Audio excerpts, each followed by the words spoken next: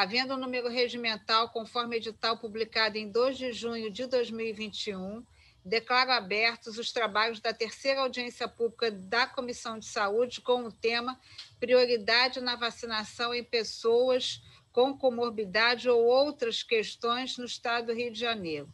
Eu gostaria de registrar aqui a presença é, da deputada enfermeira Rejane, vice-presidente da comissão, do deputado Rubem Bom Tempo, que integra a nossa comissão de saúde, do doutor Flávio representando o Conselho Regional de Medicina, doutor Arthur, do Conselho Nacional de Saúde, doutora Zaira, do Conselho Estadual de Saúde, doutora Isabel Fonseca, da Defensoria Pública, doutora Thaisa Guerreiro, da Defensoria Pública, doutora Gulnar Azevedo, da Abrasco, é, também do, da doutora Deise, do Conselho Estadual de Enfermagem, e também do doutor Everaldo que é da Everaldo Teodoro, que é da Associação dos Doentes Renais do Estado do Rio de Janeiro.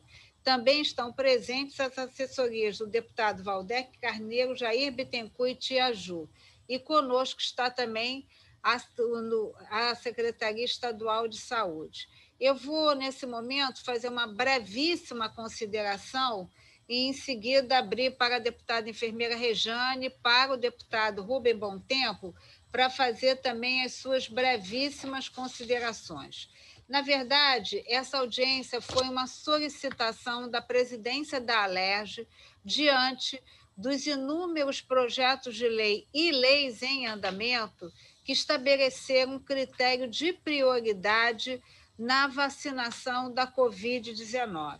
Então, eu queria aqui é, lembrar que já está em vigor a Lei 9.203, que cuida dos profissionais da área da educação, uma lei até de minha autoria, a Lei 9.237, que trata dos, da assistência social, lembrando que hoje os assistentes sociais, por serem considerados profissionais da área da saúde, já estão inseridos no grupo prioritário, a Lei 9261, que trata dos guias de turismo, a Lei 9264, que trata das, dos cuidadores das pessoas com deficiência, e também a Lei 9288, que trata das pessoas com deficiência. Além disso, nós estamos com, em andamento na Assembleia Legislativa um projeto de lei que cria como grupo prioritário os comerciantes e comerciários que atuam né, é, no comércio em geral, também é, os trabalhadores portuários, e aí todos eles definidos como grupo essencial, e, finalmente, é, estabelece também os professores de artes marciais. É o projeto 4083. Então, feitas essas considerações, qual é o objetivo da nossa audiência? De um lado, tem uma demanda da Secretaria de Saúde é, discutindo aí como tornar eficiente e efetiva a vacinação desses grupos prioritários estabelecidos por lei.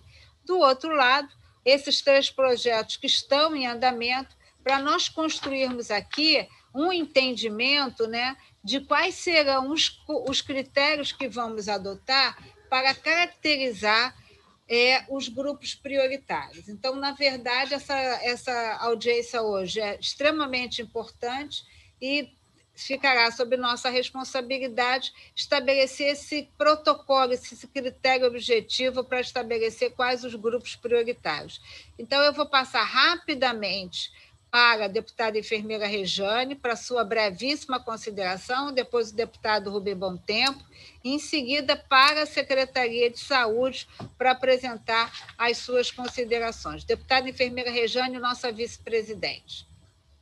Bem, muito, é, muito rapidamente, realmente, deputada Marta, queria só cumprimentá-la né, pela audiência, cumprimentar pelo trabalho que está sendo desenvolvido na comissão é, de saúde dessa casa, cumprimentar e saudar os demais participantes, né, inclusive o deputado Rubens Bom Tempo, é, Assim, a audiência é mais do que necessária, né? Nós precisamos escutar a sociedade organizada, escutar os profissionais da área, as entidades de classe, porque cada hora realmente tem um, um projeto de lei né, dando prioridade ao, a algum segmento. Inclusive, deputada Marta, nós estávamos também para apresentar um, um PL de prioridade, principalmente para os pacientes que estão dentro dos hospitais, que também são pessoas que estão lá, têm comorbidades, estão, estão outros não, né? Mas tem criança, tem, enfim, e estão dentro dos hospitais e precisavam ser também é, priorizados na vacinação. E a gente estava também para apresentar quando o presidente é, sugeriu essa audiência. Mas é fundamental a gente escutar. Nós estamos aqui desse lado, para mim tem projetos aqui e até leis né, que foram aprovadas com outros interesses, né, que não, não seriam tão necessários, propriamente ditos, dito, né, em relação aos grupos que, que estão aí. Os professores eu acho fundamental, mas outros a gente vê que não. Talvez os comerciantes e os comerciários, né, porque também é um grupo prioritário que se manteve com as portas abertas o tempo todo durante a pandemia. Enfim, nós estamos aqui para escutar. É o melhor que se faz, né? E Vossa Excelência sempre com essa, essa sabedoria que nos encanta aqui dentro da Alerj. Parabéns pelo, pela proposta. Obrigada, deputada enfermeira Rejane. Deputado Rubem Bom Tempo. Bem, boa tarde, Marta. Boa tarde, minha querida Rejane. Boa tarde a todas e a todos, todos os representantes de, de classe e de instituições que são importantes. Né? Bem, em primeiro lugar, né, a gente só está aqui porque está faltando vacina, né? Isso é a pura verdade. Se nós estivéssemos realmente executando aquilo que é previsto e preconizado pelo Plano Nacional de Imunização, tendo vacina, a gente não estaria aqui fazendo essa reunião, essa audiência, para estar discutindo aqui quais são os grupos prioritários. Afinal de contas, todos nós é, que trabalhamos é, em cima de doenças contagiosas, a gente sabe qual é a importância da vacina né, como profissional de saúde. E, consequentemente, a gente sabe que a gente precisa da vacina. Né? Em segundo lugar, né, quem deveria estar é, executando essa política pública não está executando, que é a Secretaria de Estado. Né? É o Poder Executivo que tem que executar. Né? E o Poder Executivo ele é contraditório. O Poder Executivo ele é conflitante dentro do próprio status, né? ou seja, dentro do próprio poder. Né? Às vezes ele não tem voz, às vezes a voz dele é um pouco rouca, ou a voz do governador é um pouco mais alta, ou de outros interesses paralelos que acontecem dentro do próprio governo, e acaba atropelando né, qualquer tipo de direcionamento que seria necessário por parte da Secretaria de Estado de Saúde, que é, sim, o órgão competente para poder definir as prioridades. Terceiro, que também é muito grave, é não definir, dentro de uma pandemia, e não permitir que a Secretaria de Estado de Saúde defina quem são os prioritários, porque, afinal de contas, quem define é a Secretaria de Saúde dentro da epidemiologia, né? e não é, qualquer tipo de conversa paralela. É aí a primeira definição, só para a gente poder lembrar um pouquinho, Marta, aqui para a gente poder fazer aqui um, né, um, uma cronologia, né, os principais grupo de risco. Né? Quem é? Ah, os profissionais de saúde. Ó, oh, ok. Ah, os idosos, né? porque realmente as UTIs estão realmente lotadas e as pessoas com mais de 60 anos que estão ocupando esses leitos. Então, vamos priorizar também né, os, os nossos idosos. Até, ok. Aí começa a faltar vacina. Aí depois começa a discutir essa questão das, das comorbidades. E aí a gente sabe que tem um monte de gente que tem hipertensão arterial leve, sem nenhum tipo de repercussão orgânica, pega um atestadozinho lá, vai lá, fura fila, né, sem nenhum tipo de critério, por falta de critério por parte de quem realmente deveria definir. E assim por diante. Então, a gente está vivendo esse momento. E aí entra os interesses que você muito bem colocou, Marta. Aí, de repente, chega um projeto de lei né, dizendo para priorizar né, lutadores de, de, de luta marcial, para mim não dá. Né? Aí já, já não dá mais. Né? A questão da, das pessoas que estão na rua, junto com as pessoas que atuam diretamente na linha de frente, que é o pessoal da saúde, ok, né? vamos definir, então, né, os policiais, os bombeiros, né, o pessoal que está no supermercado, como a enfermeira Regiane muito bem colocou, o pessoal que trabalha em farmácia, porque a farmácia tem que estar tá aberta, concordo plenamente, os motoristas de ônibus, né, os cobradores, ok, tudo bem, isso tudo é importante para que a cidade funcione numa pandemia. Né? Aí a gente já vai além dessa questão da educação, né, que transformou isso tudo num uma grande celeuma, né, um grande debate a nível nacional. Né? E aí outros grupos que não são da saúde querem colocar a educação como se fosse uma prioridade dentro de uma pandemia. Né? Também não dá mas a gente quer que a educação funcione, então tem que ter vacina também para os professores. E falta vacina, né? Então, isso tudo, é, esse debate é muito, muito importante a gente estar tá fazendo, mas, por outro lado, né, ele é, é, assim, um pouco.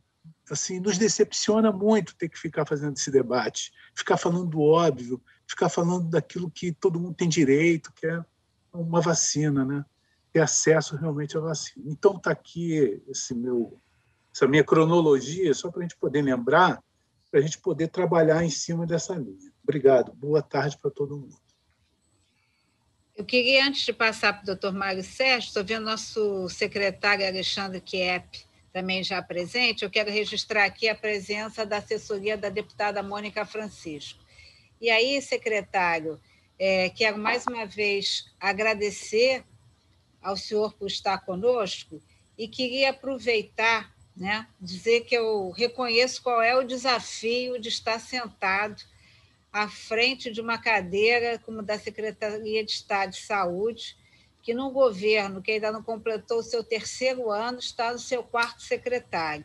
Então, todos nós que queremos o bem, né? queremos que o Estado do Rio de Janeiro dê certo, eu quero dizer que torço muito pela gestão do senhor à frente da Secretaria de Saúde. E eu queria me assenhorar tanto da fala da deputada enfermeira Rejane quanto da fala do deputado Rubem Tempo, né, que nos lembram, de um lado, a deputada enfermeira Rejane dizendo que é importante a gente construir esse canal de diálogo entre o legislativo e o executivo, e o deputado Rubem Tempo, na sua sabedoria né, de gestor, de médico, foi prefeito de Petrópolis várias vezes, nos lembrando aqui né, de que nós estamos aqui discutindo esse dilema em razão da ausência da vacina e nós temos clareza que a Secretaria de Estado de Saúde está inserida no Plano Nacional de Imunização. Então, eu queria assim, pedir que nessa sua análise a gente também fosse possível responder a duas outras questões. A primeira, como está aquela decisão da Secretaria de Estado de Saúde de fazer um calendário único de vacinação. Né? Me parece, como observadora, que a gente teria aí uma situação um pouco diferenciada que é da cidade do Rio de Janeiro. Então, como está essa estratégia do calendário único e na sua perspectiva, né?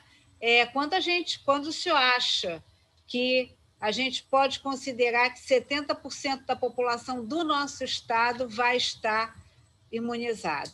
E pedir ao senhor que faça as considerações da secretaria no que se refere a essa decisão das prioridades e quais são os entraves que a secretaria tem para cumprir as determinações legais. Obrigada, doutor Alexandre, por estar conosco aqui.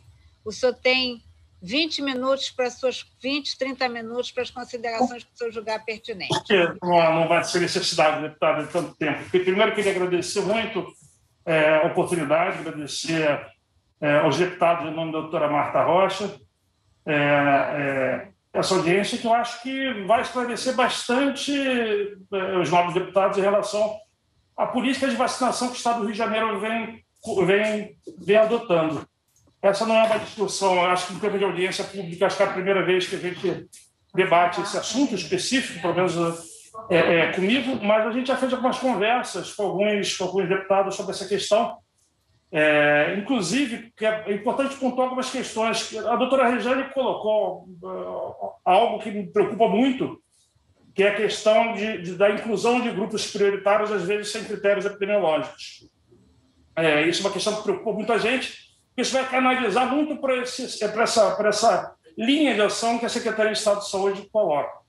Eu vou ser bem honesto, doutor é, é, deputado Rubens, eu, eu, não entendi muitas colocações em termos de, de responsabilidade da Secretaria Estadual de Saúde e da sua omissão nesse processo. Senhor me desculpe, não ficou claro para mim qual o tipo de omissão que a Secretaria de Estado vem, vem, vem, vem, tendo em relação à vacinação, uma vez que, primeiro, não é responsabilidade dela a aquisição de vacinas. Concordo inteiramente com, com o nobre deputado. Se a gente estivesse num cenário outro, com, com vacinas em quantidade é, é, suficiente, a gente não estaria aqui discutindo prioridade, do mesmo jeito que a gente não está discutindo prioridade em relação à vacinação de sarampo, de influenza, é, que vem acontecendo, por exemplo. É, também não entendi qual a responsabilização que foi colocada para a Secretaria de Saúde em relação ao cumprimento ou não cumprimento é, é, de acordos de, de, grupos prioritários, por exemplo. Uma vez que, desde o começo, que eu, que, que, pelo menos da, da, que eu assumi a Secretaria de Saúde, e como a, a deputada é, Marta colocou, a gente vem buscando um calendário único que, em que os 92 municípios possam, priori, possam é, fazer a vacinação de forma relativamente simultânea, uma vez que não dá para a gente achar que o município do Rio de Janeiro vai vacinar da mesma forma que o município de Apiribé, por exemplo, a gente tem que respeitar essas diferenças municipais. O senhor entende, o senhor foi prefeito. O município da região serrana é diferente do município da Baixada Fluminense em termos de capacidade é, operacional, em termos, em, termos de, em termos de sala de vacina, enfim. Mas nós, desde o começo, definimos que nós iríamos seguir o acordado em tripartite que são as prioridades elencadas em nível nacional, que seguem, sim, é, é, é, prioridades epidemiológicas.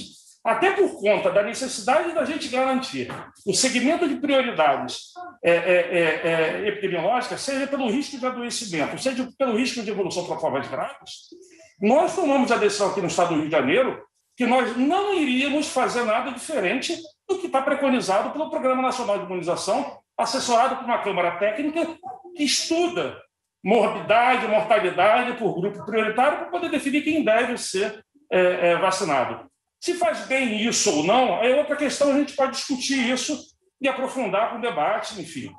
Fato é que a Secretaria Estadual de Saúde optou, então, desde que eu assumi, isso tem menos de três semanas, estabelecer um calendário único de vacinação em todo o Estado. Isso foi feito, foi uma árdua pactuação com os 92 municípios, porque cada um, obviamente, tinha uma, estava em tempos diferentes de vacinação. É, alguns municípios da Baixada Fluminense, por exemplo, fazendo uma vacinação é, é, por idade e não priorizando os grupos elencados pelo Ministério da Saúde, e em tempos totalmente diferentes. Essa pactuação ela foi feita no âmbito da Comissão Intergestora Bipartite.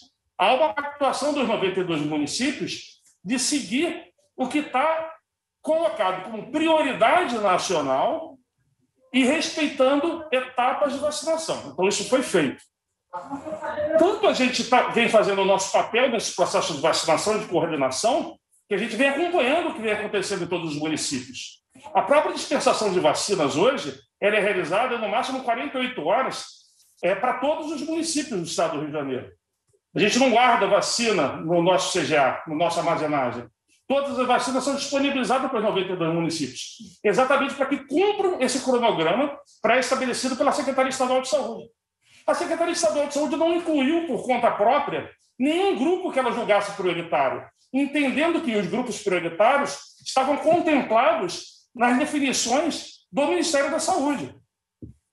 Nós, a única coisa que nós fizemos foi a adequação de um calendário único de vacinação a esses grupos prioritários ou por faixa etária, ou pela presença de algum fator de agravamento ou de risco, é, é que o PNI pré-estabelecia. E a gente organizou toda essa nossa estratégia de vacinação através de um calendário unificado dessa forma. Nós não queremos incluir, por conta própria, grupo nenhum. Nós fazemos essa negociação de forma tripartite, seguindo critérios estritamente técnicos, por isso que me surpreendeu muito, deputado, quando o senhor atribui à Secretaria Estadual de Saúde qualquer omissão nesse processo de vacinação. é, eu gostaria assim, até de entender é, é, em que parte nós erramos, até para a gente poder fazer as correções. Secretário, secretário. Pois não, deputado. Com licença.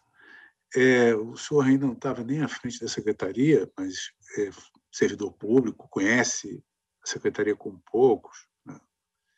E o senhor sabe né, que foi montado, inclusive, um, um, um comitê né, de apoio né, ao nosso governador, onde que nem a Secretaria de Estado se encontra presente. Isso é fato. Né? E muitas dessas é, digamos, consultas que são feitas pelo governador não são feitas diretamente à Secretaria de Estado de Saúde. Então, quando a gente chega e percebe que está chegando na Assembleia Legislativa diversas demandas de diversos grupos, como até falei agora para o senhor, né, até né, colocando como grupo prioritário né, é, lutador de, de lutas marciais, fora, é porque né, a gente percebe que existe uma, falta de clareza por parte né, ou do governo federal ou por parte do governo estadual, e aí eu não posso excluir de jeito nenhum, no sentido de poder né, normatizar isso tudo e deixar isso tudo é, bem claro, levando em consideração os, os critérios epidemiológicos. Deputado, exatamente nessa. Leva em consideração também né, a capacidade das pessoas se locomoverem. Né? O que a gente tenta evitar, né, o máximo possível, num momento como esse de pandemia, né, é a circulação de pessoas que estão transportando o vírus. Nós sabemos disso. Então, quando a gente fala né, de a Secretaria de Estado, né, através da sua epidemiologia, definir né, quais são realmente esses grupos que mais circulam para que a cidade de uma forma geral, possa estar funcionando de uma maneira adequada, mesmo né, com as suas restrições, né, eu quero colocar que existe uma responsabilidade, sim, da Secretaria de Estado de Saúde na definição e na clareza desses grupos. Mas é isso, é isso que eu estou colocando. Se não existe, né, digamos assim, uma harmonia né, da visão nacional com a visão estadual, a gente tem que buscar essa harmonia. Mas o que eu quero deixar bem claro é que a gente precisa definir um pouco melhor né, que tipo de cidade que a gente quer, queira que funcione durante uma pandemia. E, para isso, a gente precisa definir quem realmente é prioritário para vacinar ou não, dentro daquilo que é importante para que a cidade funcione, ou seja, né, o mínimo possível as pessoas circulem, mas quem circula esteja sendo vacinado, só isso. Deputado, com toda humildade, a gente está falando exatamente a mesma coisa. Nossa divergência emergência é só quando a gente atribui à Secretaria Estadual de Saúde ou à Secretaria Municipal de Saúde a responsabilidade de definir esses grupos prioritários por conta própria. Eu, particularmente, acho isso um equívoco. Os grupos prioritários eles devem ser é, é, é, é definidos em nível nacional, mas não pelo Ministério da Saúde, através de acordo tripartite, com representação de Estado, municípios e, e governo federal. E é isso que foi feito. E aí, quando eu falo da minha discordância, com total humildade, porque a gente pode discordar desse processo, a minha definição e a minha posição de não ir contra as definições ocorridas em, é, em, em âmbito tripartite é exatamente para a gente não abrir margens para que grupos que não são prioritários do ponto de vista epidemiológico sejam incluídos na frente de outros grupos com maior risco de adoecimento ou maior risco de agravamento. Por isso, a nossa decisão, muito clara na pactuação tripartite, muito clara, de estabelecimento de um calendário único, com a definição na pactuação, na deliberação, que foi inclusive publicada, de que grupos prioritários são esses e quando eles serão vacinados. Primeiro, para a gente dar previsão para a população de quando ela vai ser vacinada.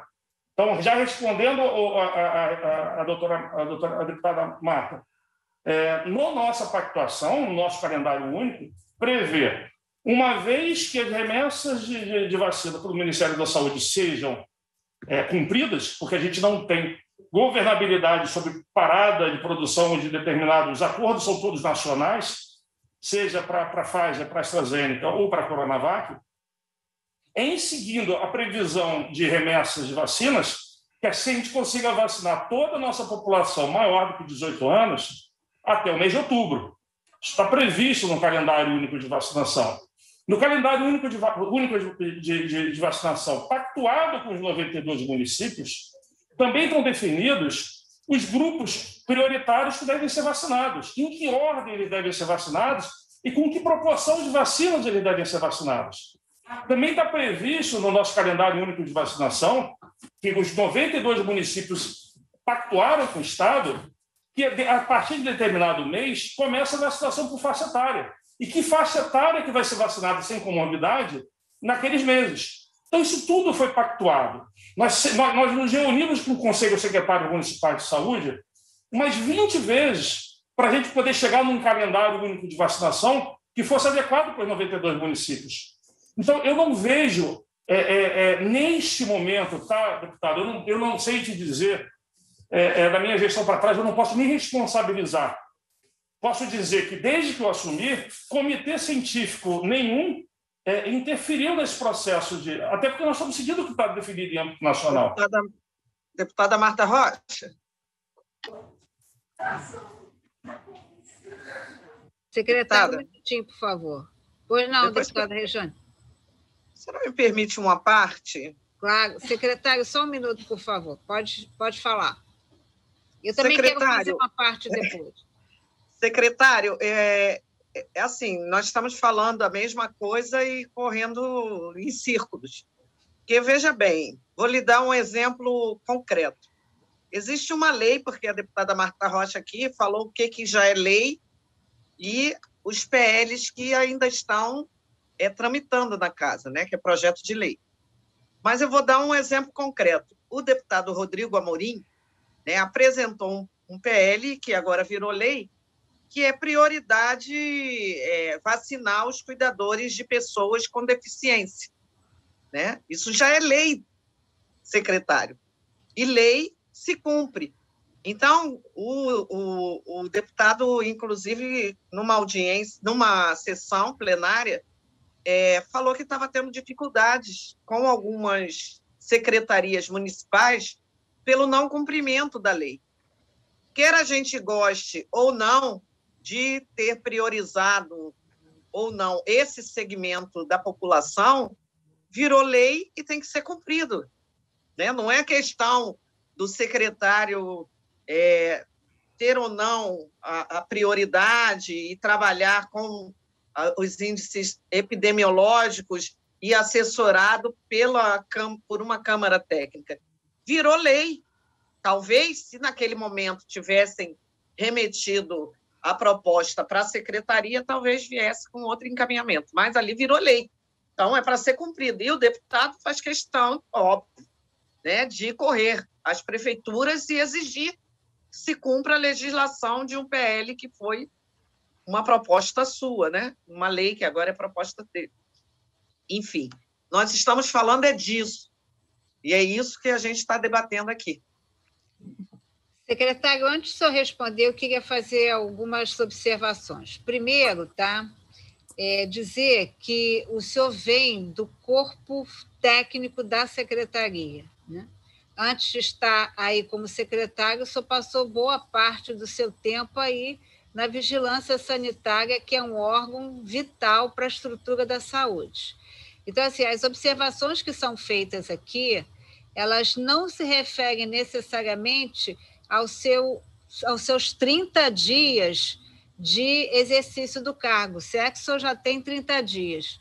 Mas são observações que nós assistimos aqui, né? É, desde a chegada do primeiro secretário na gestão do então governador Wilson Witzel, até a, a permanência do terceiro, do, aliás, o senhor é o quinto secretário, o senhor não é o quarto secretário, o senhor é o quinto secretário.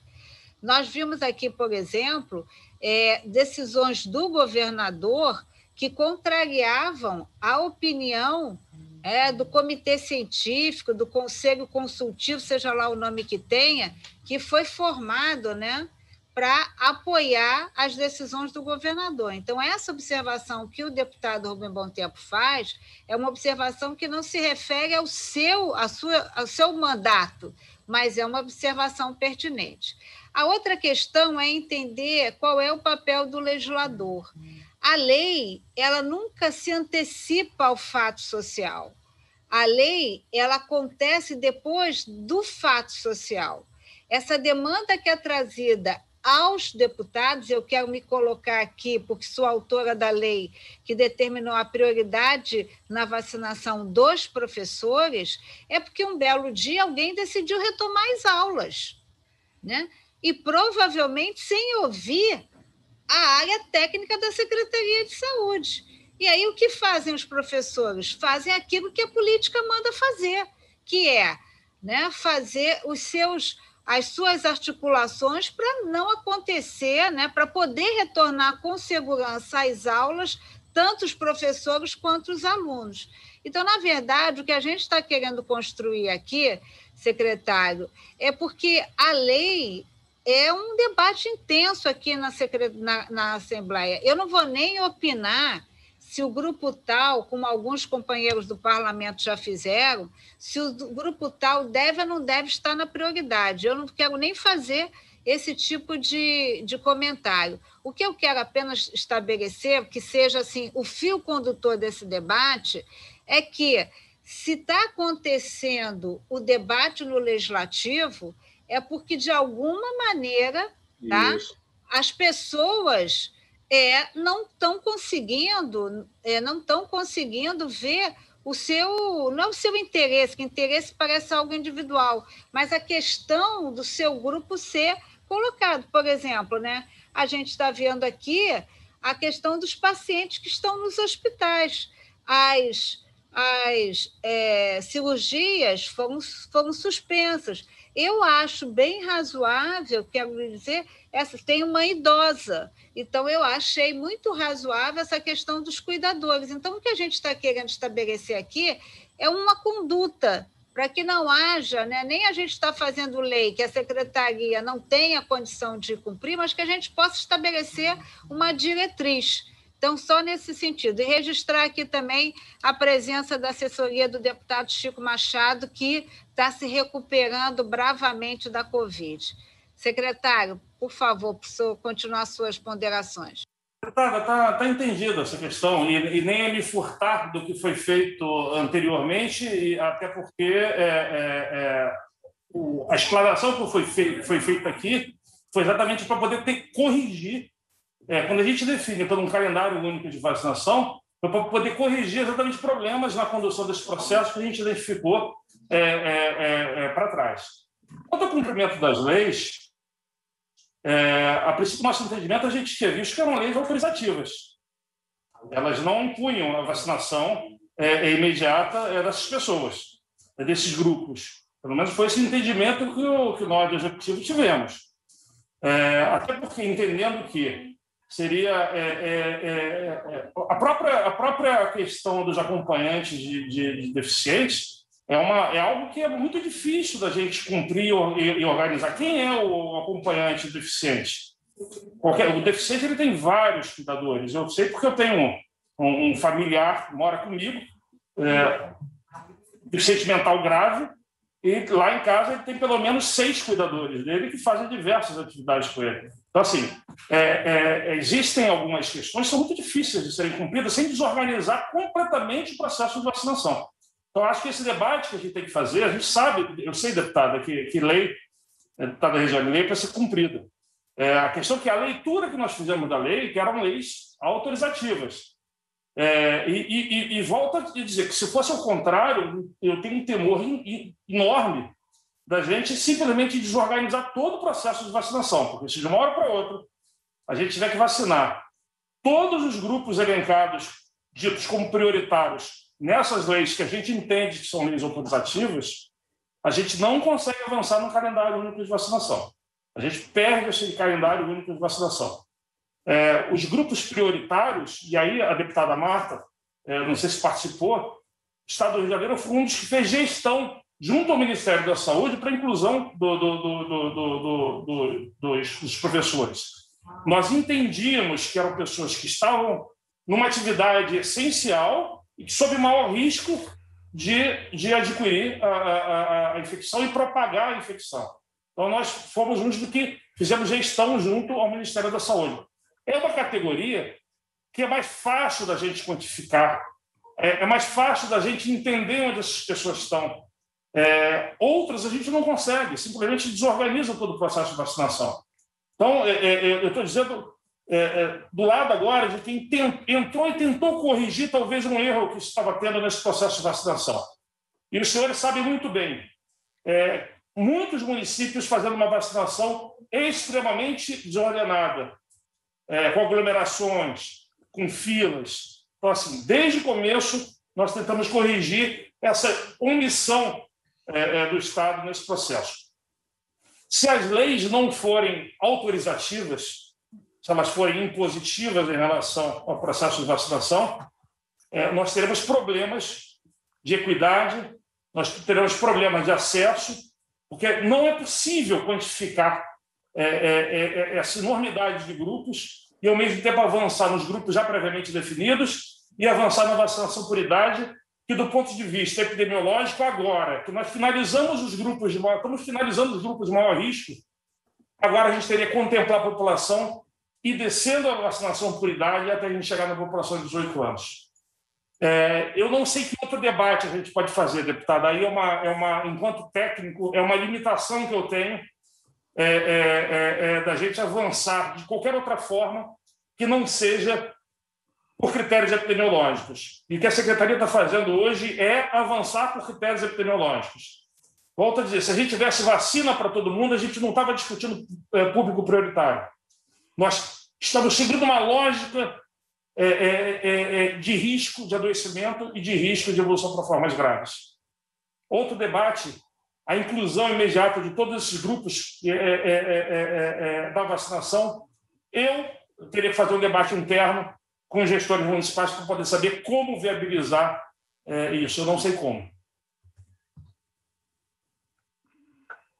Eu acho também, aí falando para os nossos companheiros, né, deputada Rejane e deputado Robert Bom Tempo, porque no momento da aprovação da lei, a gente muitas vezes, né, para criar um ambiente de diálogo, a gente aceita que o processo aceita uma emenda que via de regra vem da parte do governo, é esse o papel da liderança, né?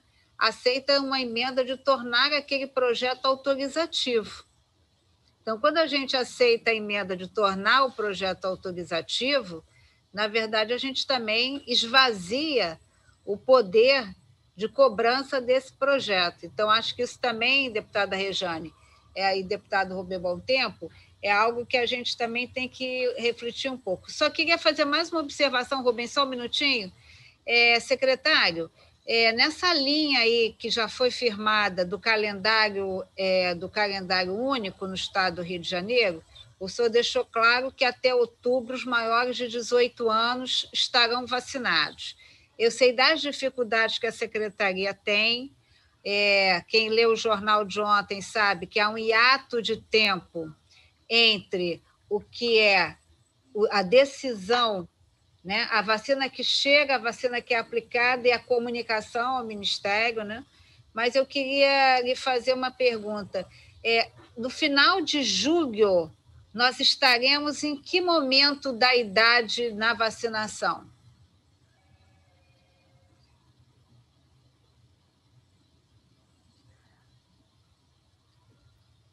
Na verdade, eu, vou fazer só um esclarecimento. Quando a gente fala até outubro, tem intervalo de vacina que às vezes chega três meses, tá? Então, até outubro, nós teremos toda. Seguindo a previsão de aporte de vacina do Ministério da Saúde, a gente vai ter toda a população com mais de 18 anos vacinadas, pelo menos com a primeira dose, tá? a segunda dose ela tem que ser aplicada três meses depois, então a gente teria que estar toda a população agora vacinada, então não é possível isso. É, pelo, pelo pactuado, tá?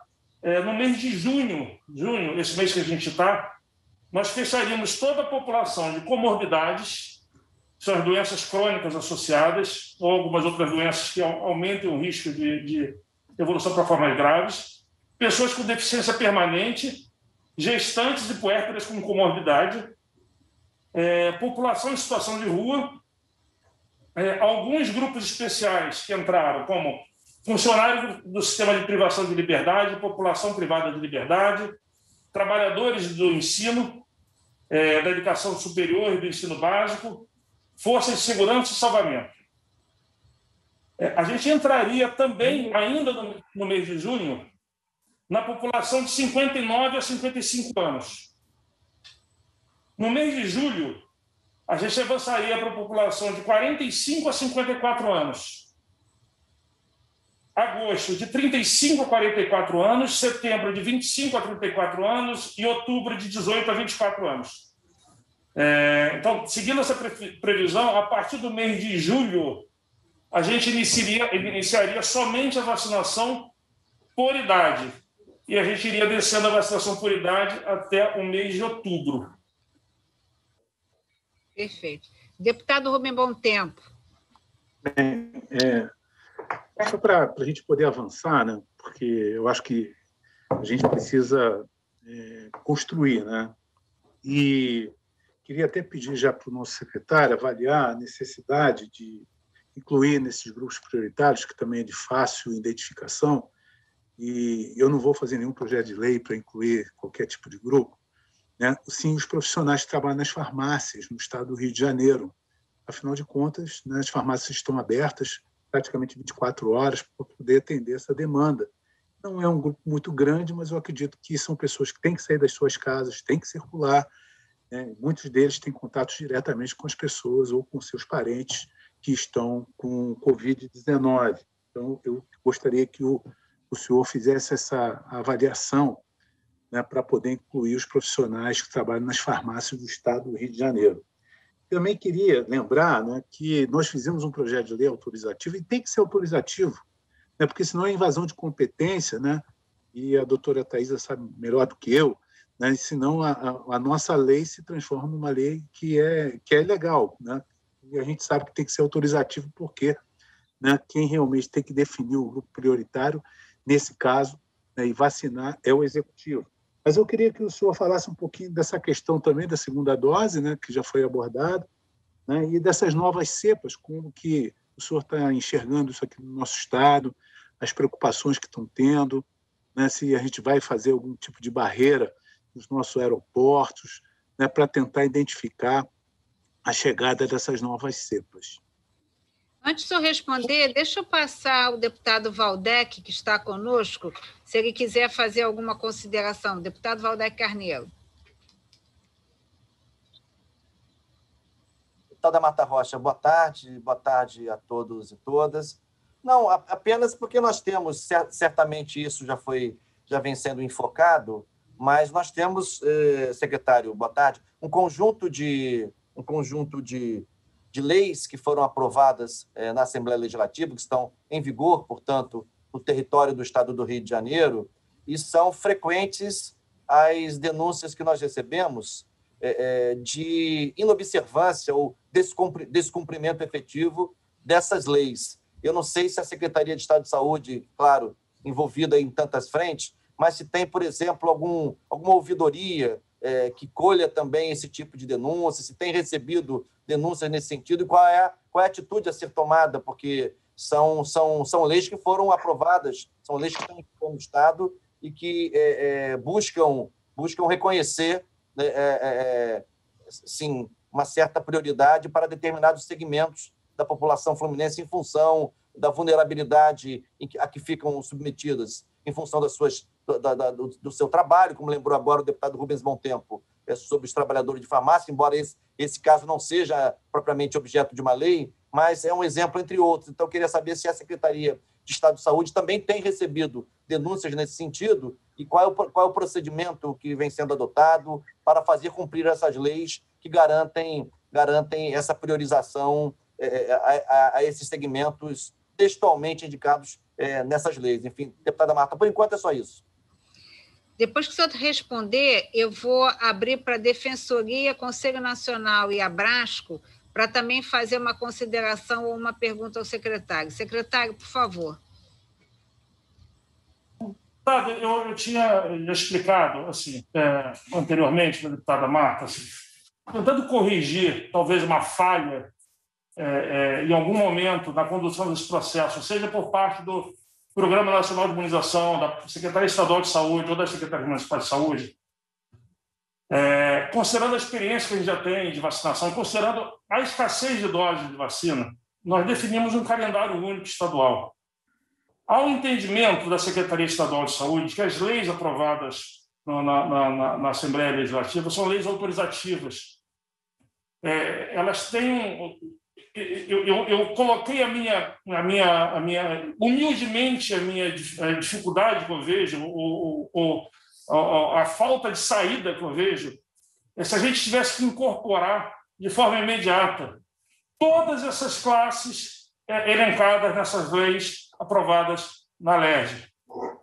É, nosso entendimento é que eram leis autorizativas, elas não impunham imediatamente a vacinação desses grupos prioritários.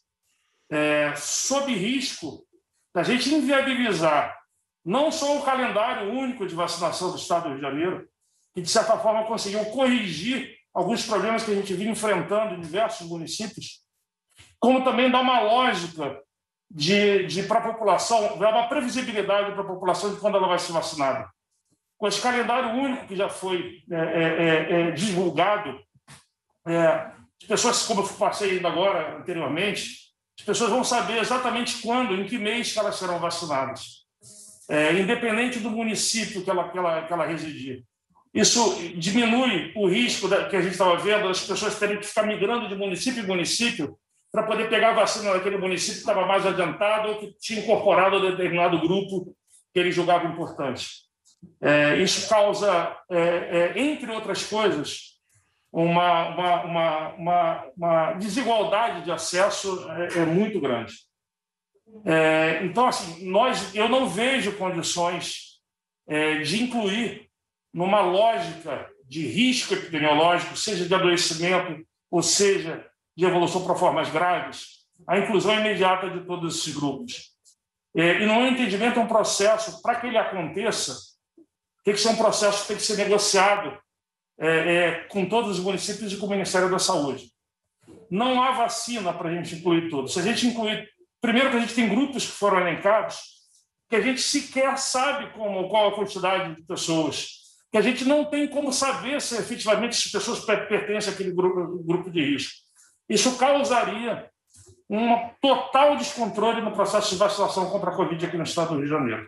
Então, volto a dizer, é, eu, tecnicamente, é, vejo é, uma limitação nossa de como incorporar esses grupos de forma imediata. Então, essa é uma questão. a gente sabe que essas leis são debatidas, mas imagino também que essas leis foram debatidas em um outro momento. Hoje, o Rio de Janeiro, diferente inclusive do que acontece em vários outros estados do país, tem um calendário único de vacinação pactuado com 92 municípios.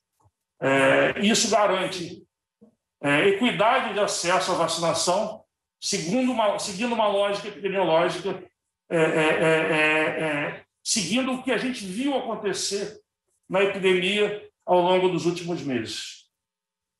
por mais que, que, a gente seja alvo de críticas por conta dessa decisão, por mais que determinados grupos sejam expostos, a gente teve que fazer algumas escolhas é, para poder garantir o acesso adequado à vacinação. Em relação ao monitoramento do, do, das cepas, deputado Rubio Tempo, é uma preocupação muito grande nossa. É, tanto que, é, na primeira vez que eu dei entrevista, que eu conversei com alguns deputados, eu sempre falei do risco que a gente pode ter por conta do risco de uma quarta onda, por conta do ressurgimento de alguma cepa é, nova. Hoje preocupa bastante a cepa indiana, é, parece que a cepa indiana, quando comparada a, a, a, ao vírus original, tem uma capacidade de disseminação 40% maior. Possivelmente muito semelhante à variante P1, que é a variante que predomina hoje no Rio de Janeiro. A variante indiana já está predominando em alguns países da Europa. Por outro lado, o lado bom dessa história é que as vacinas têm se mostrado eficazes também contra a cepa indiana. Mas a gente sabe que a gente não vai conseguir impedir a entrada da cepa indiana. A gente quer retardar ao máximo possível a entrada dessa cepa indiana. É por isso que nós montamos, desde a semana passada, É, a gente tem equipe 24 horas por dia nos aeroportos para poder fazer a testagem de qualquer pessoa que tenha passado pela Índia, que é onde é, que é o principal disseminador hoje da, da, dessa cepa no, no, no, no, mundo. Então, a gente tem equipes com testes de antígeno para poder fazer a testagem dessas pessoas e, uma vez positiva, elas imediatamente são direcionadas é, para o isolamento, seja em domicílio, com monitoramento em domicílio, seja através do hotel que nós, nós, nós definimos que as pessoas iriam ser encaminhadas para o hotel, para que elas não, fossem, não, não circulassem. A nossa situação é uma situação um pouco mais cômoda que São Paulo. São Paulo recebe praticamente todos os voos, a gente não recebe nenhum voo direto. Então, a gente é, é acionado pela Anvisa é, do dos aeroportos de São Paulo, informando que os pacientes estão vindo para cá, e nossa equipe, já na área de desembarque, já faz a testagem dessas pessoas todas. A gente também fez uma parceria com a FRJ, com o recurso da FAPERJ, para ampliação do número de amostras a serem sequenciadas.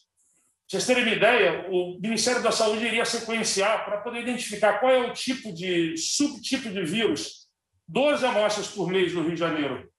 Hoje nós estamos fazendo 500 amostras por semana. Então, a nossa capacidade de identificar novas cepas aqui no Rio de Janeiro, para poder nos anteciparmos a qualquer cenário é, diferente do atual, é muito grande. A gente hoje faz mais sequenciamento do que o restante do país todo junto. Por uma, não é porque a gente, é porque a gente fez uma parceria com o laboratório do professor Tanuri, que está possibilitando isso. Então a gente sabe muito bem o que está circulando aqui no estado do Rio de Janeiro. Hoje circula a variante P1, que é a variante de Manaus. É, a gente não teve nenhum caso ainda identificado aqui no Rio de Janeiro da variante indiana, que é a nossa preocupação.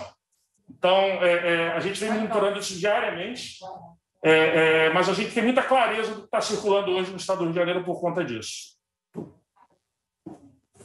Só, só para colocar, e os profissionais de, que trabalham em farmácia, o senhor acha possível? Deputado, assim, eu acho, eu, se perguntar minha opinião pessoal, eu acho que é um dos grupos de, de, de alto risco. Tá? É... A gente não, a gente está também é, teve uma decisão do ministro do Supremo de, de, de, de impedir a, que o Estado do Rio de Janeiro colocasse qualquer outro grupo é, é, é, é por conta própria. Então, eu gostaria, assim, pudesse pegar depois do meu telefone, posso passar. Eu vou entrar em contato hoje com o Ministério da Saúde o oficial do Ministério da Saúde solicitando autorização para a vacinação desse grupo especificamente. Uma vez que a autorização deles, eu pactuo isso em, em, em bipartite, esse processo é rápido, porque a gente pode fazer uma pactuação de referendo, e eu me comprometo a, a enviar para o senhor todos esses, é, é, é, esse, essa, todos esses ofícios que a gente mandar para o Ministério da Saúde, fazer gestão junto ao Ministério da Saúde para isso. Se o senhor também Obrigado. puder ajudar de alguma forma, porque eu considero um grupo muito prioritário, porque quem lida diretamente com o doente é, é, é, é, e é um grupo que seja possível, sim. Obrigado.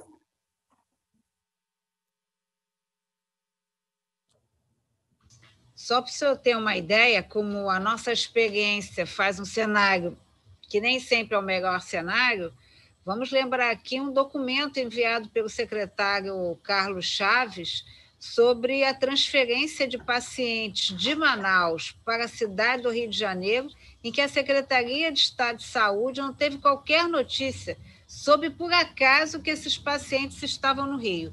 Só para dizer aos deputados e a todos presentes nessa audiência, nós estamos em tramitação na Alerj 21 projetos de lei que estabelecem prioridades. Então, que vão em todos os sentidos, né? É, passa por. E eu até considero aqui, não vou fazer juízo de valor, mas que tem um aspecto aí de tentar identificar essa população mais vulnerável. Vejo aí uma preocupação por parte dos parlamentares. É, doutora Thais, em seguida, doutor Arthur, em seguida, doutora Gunnar. Olá, boa tarde, deputada. Cumprimento a senhora e todos os demais, sua pessoa e todos os demais participantes dessa audiência. Né? Esse é um tema extremamente, para mim, né, pessoalmente, como representante da Defensoria Pública na área da saúde, é um tema muito caro, é, muito complexo e muito delicado, porque todos que nós queremos ser vacinados. Né? A verdade é essa, todos nós temos anseios de ser vacinados. Eu mesma entro quase toda semana em unidades de saúde, em vistorias, em CTI Covid não fui vacinada, porque entendo que chegará o meu momento. Né? E eu olho que dá falta um pouquinho. É, e é legítimo, eu digo, a angústia de todos, né, para ter acesso a essa vacinação. Gostaria muito que a gente tivesse hoje um cenário em que todo o Brasil né, tivesse hoje um quantitativo suficiente é, de vacinas. Infelizmente, todos nós sabemos os motivos, muitos motivos pelos quais a gente não tem esse cenário hoje realizado no estado do Rio, e nós, a gente lida com um cenário de insuficiência de vacinas para todos, e isso leva necessariamente a escolhas alocativas em saúde pública. É, a Defensoria preza muito pelos critérios, pela observância dos critérios técnicos e científicos. Esses critérios técnicos e científicos, eles foram estabelecidos é, a princípio pelo Ministério da Saúde, também com é, observância dos critérios internacionais da OMS, da SAGE, que é um grupo de técnicos que vem orientando o Ministério da Saúde, e também né, pela esfera tripartite, como bem é, até destacou o secretário. É, foram eleitos grupos prioritários, esses grupos prioritários foram eleitos, em sua maioria, salvo a questão dos profissionais essenciais da saúde, que foi para a manutenção dos serviços de saúde, mas pela, pelos maiores pelos critérios de maior chance de agravamento e óbito, que são, a nosso ver, os mais importantes, até porque isso impacta diretamente na, na pressão da rede assistencial do Rio de Janeiro, ou seja, se a gente não vacinar o mais rápido possível essas pessoas que são hospitalizadas e morrem, nós teremos uma próxima onda, novamente uma grande pressão assistencial, então o sistema todo ele caminha junto. Isso é importante falar. É, a vacinação, de acordo com os critérios técnicos e científicos, também colabora para que a gente tenha uma rede assistencial melhor preparada para um caso de um novo surto epidêmico. É, esses critérios podem, são estabelecidos nacionalmente, mas o Ministério da Saúde diz, de forma bem clara, que os estados podem pactuar em CIB, é, com base em critérios e indicadores epidemiológicos locais, é, uma modificação na ordem da vacinação ou na operacionalização dessa vacinação que aconteceu, é, a doutora, o atual secretário não estava conduzindo ainda essa pasta, no momento em que nós tivemos que recorrer ao Supremo Tribunal Federal, é que, infelizmente, à época, o, o governo do Estado do Rio de Janeiro fez, expediu um decreto né, antecipando a vacinação de um grupo de profissionais de segurança, antecipando a vacinação também dos professores, é, sem qualquer apoio em critérios técnicos e científicos locais que comprovassem a efetiva necessidade dessa, dessa é, alteração na dinâmica em nível estadual e sem pactuação em CIB, é, que, que é o, também o que está expressamente exigido no PNO, no Programa Nacional de Operacionalização da Vacinação contra a Covid-19. Isso retira qualquer legitimidade no decreto estadual, que é imposto sem uma prévia pactuação com os entes. O que acontece é que vocês pedem um decreto que não é observado pelos municípios, porque não foi com eles discutido, não foi com eles pactuado. Isso contraria toda a lógica do Sistema Único de Saúde, de descentralização administrativa. Esse é um sistema complexo, o SUS é complexo, mas a realidade é que não pode atravessar o sistema, porque senão não funciona. É, eu fiquei muito feliz quando o, o, Estado do Rio de Janeiro pactua em CIB um calendário unificado. É, é, isso me deu um sopro de esperança, realmente. Comentei isso com a SES. Eu, eu agradeço muito ao doutor Mário Sérgio, a, é, que é uma pessoa extremamente acessível. Eu brinco até com ele que eu penteio ele muito, muitas vezes ao dia, porque são muitas dúvidas. É, mas ele está sempre muito acessível, muito disposto a ouvir.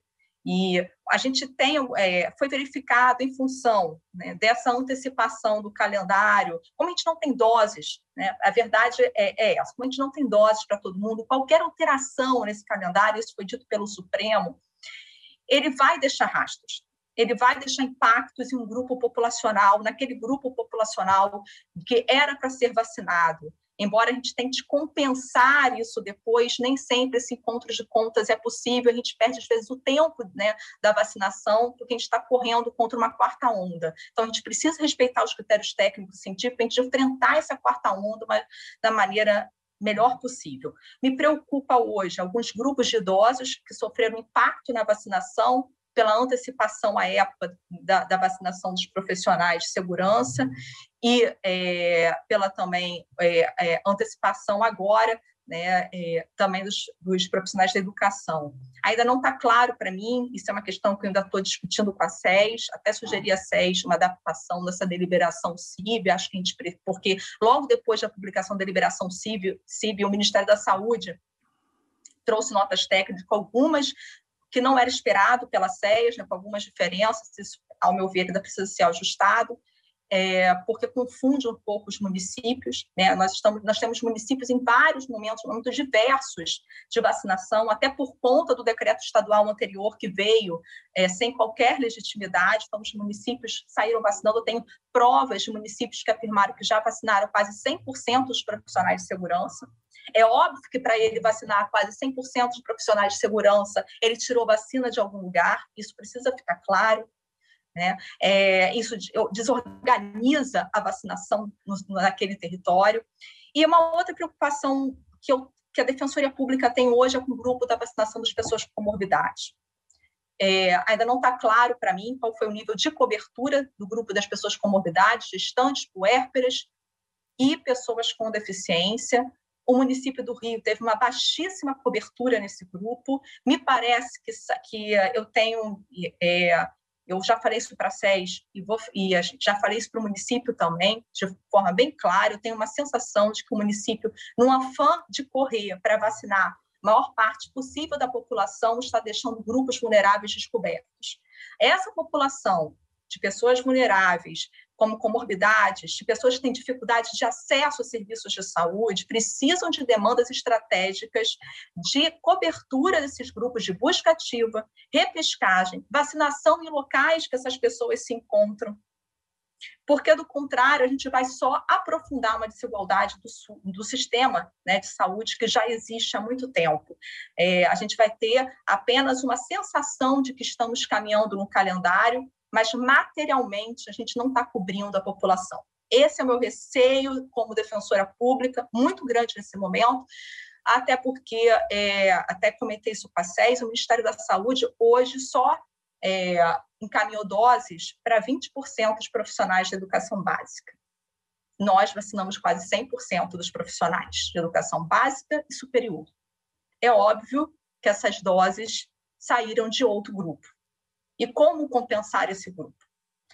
Essas respostas precisam vir à tona, essas escolhas alocativas precisam ser transparentes, claras e apoiadas em critérios técnicos e científicos para que sejam escolhas legítimas e para que a gente possa, como órgão de controle, respeitá-las é, e, e compreendê-las, né, de modo que a gente entenda quando, quando que a população é, que foi aparentemente preterida vai ser efetivamente vacinada? Com quais estratégias? Como que nós vamos correr atrás dos nossos rastros? Como que o Estado e os municípios vão correr atrás e hoje vacinar aqueles grupos que não foram integralmente cobertos a despeito de já ter passado a fase do calendário?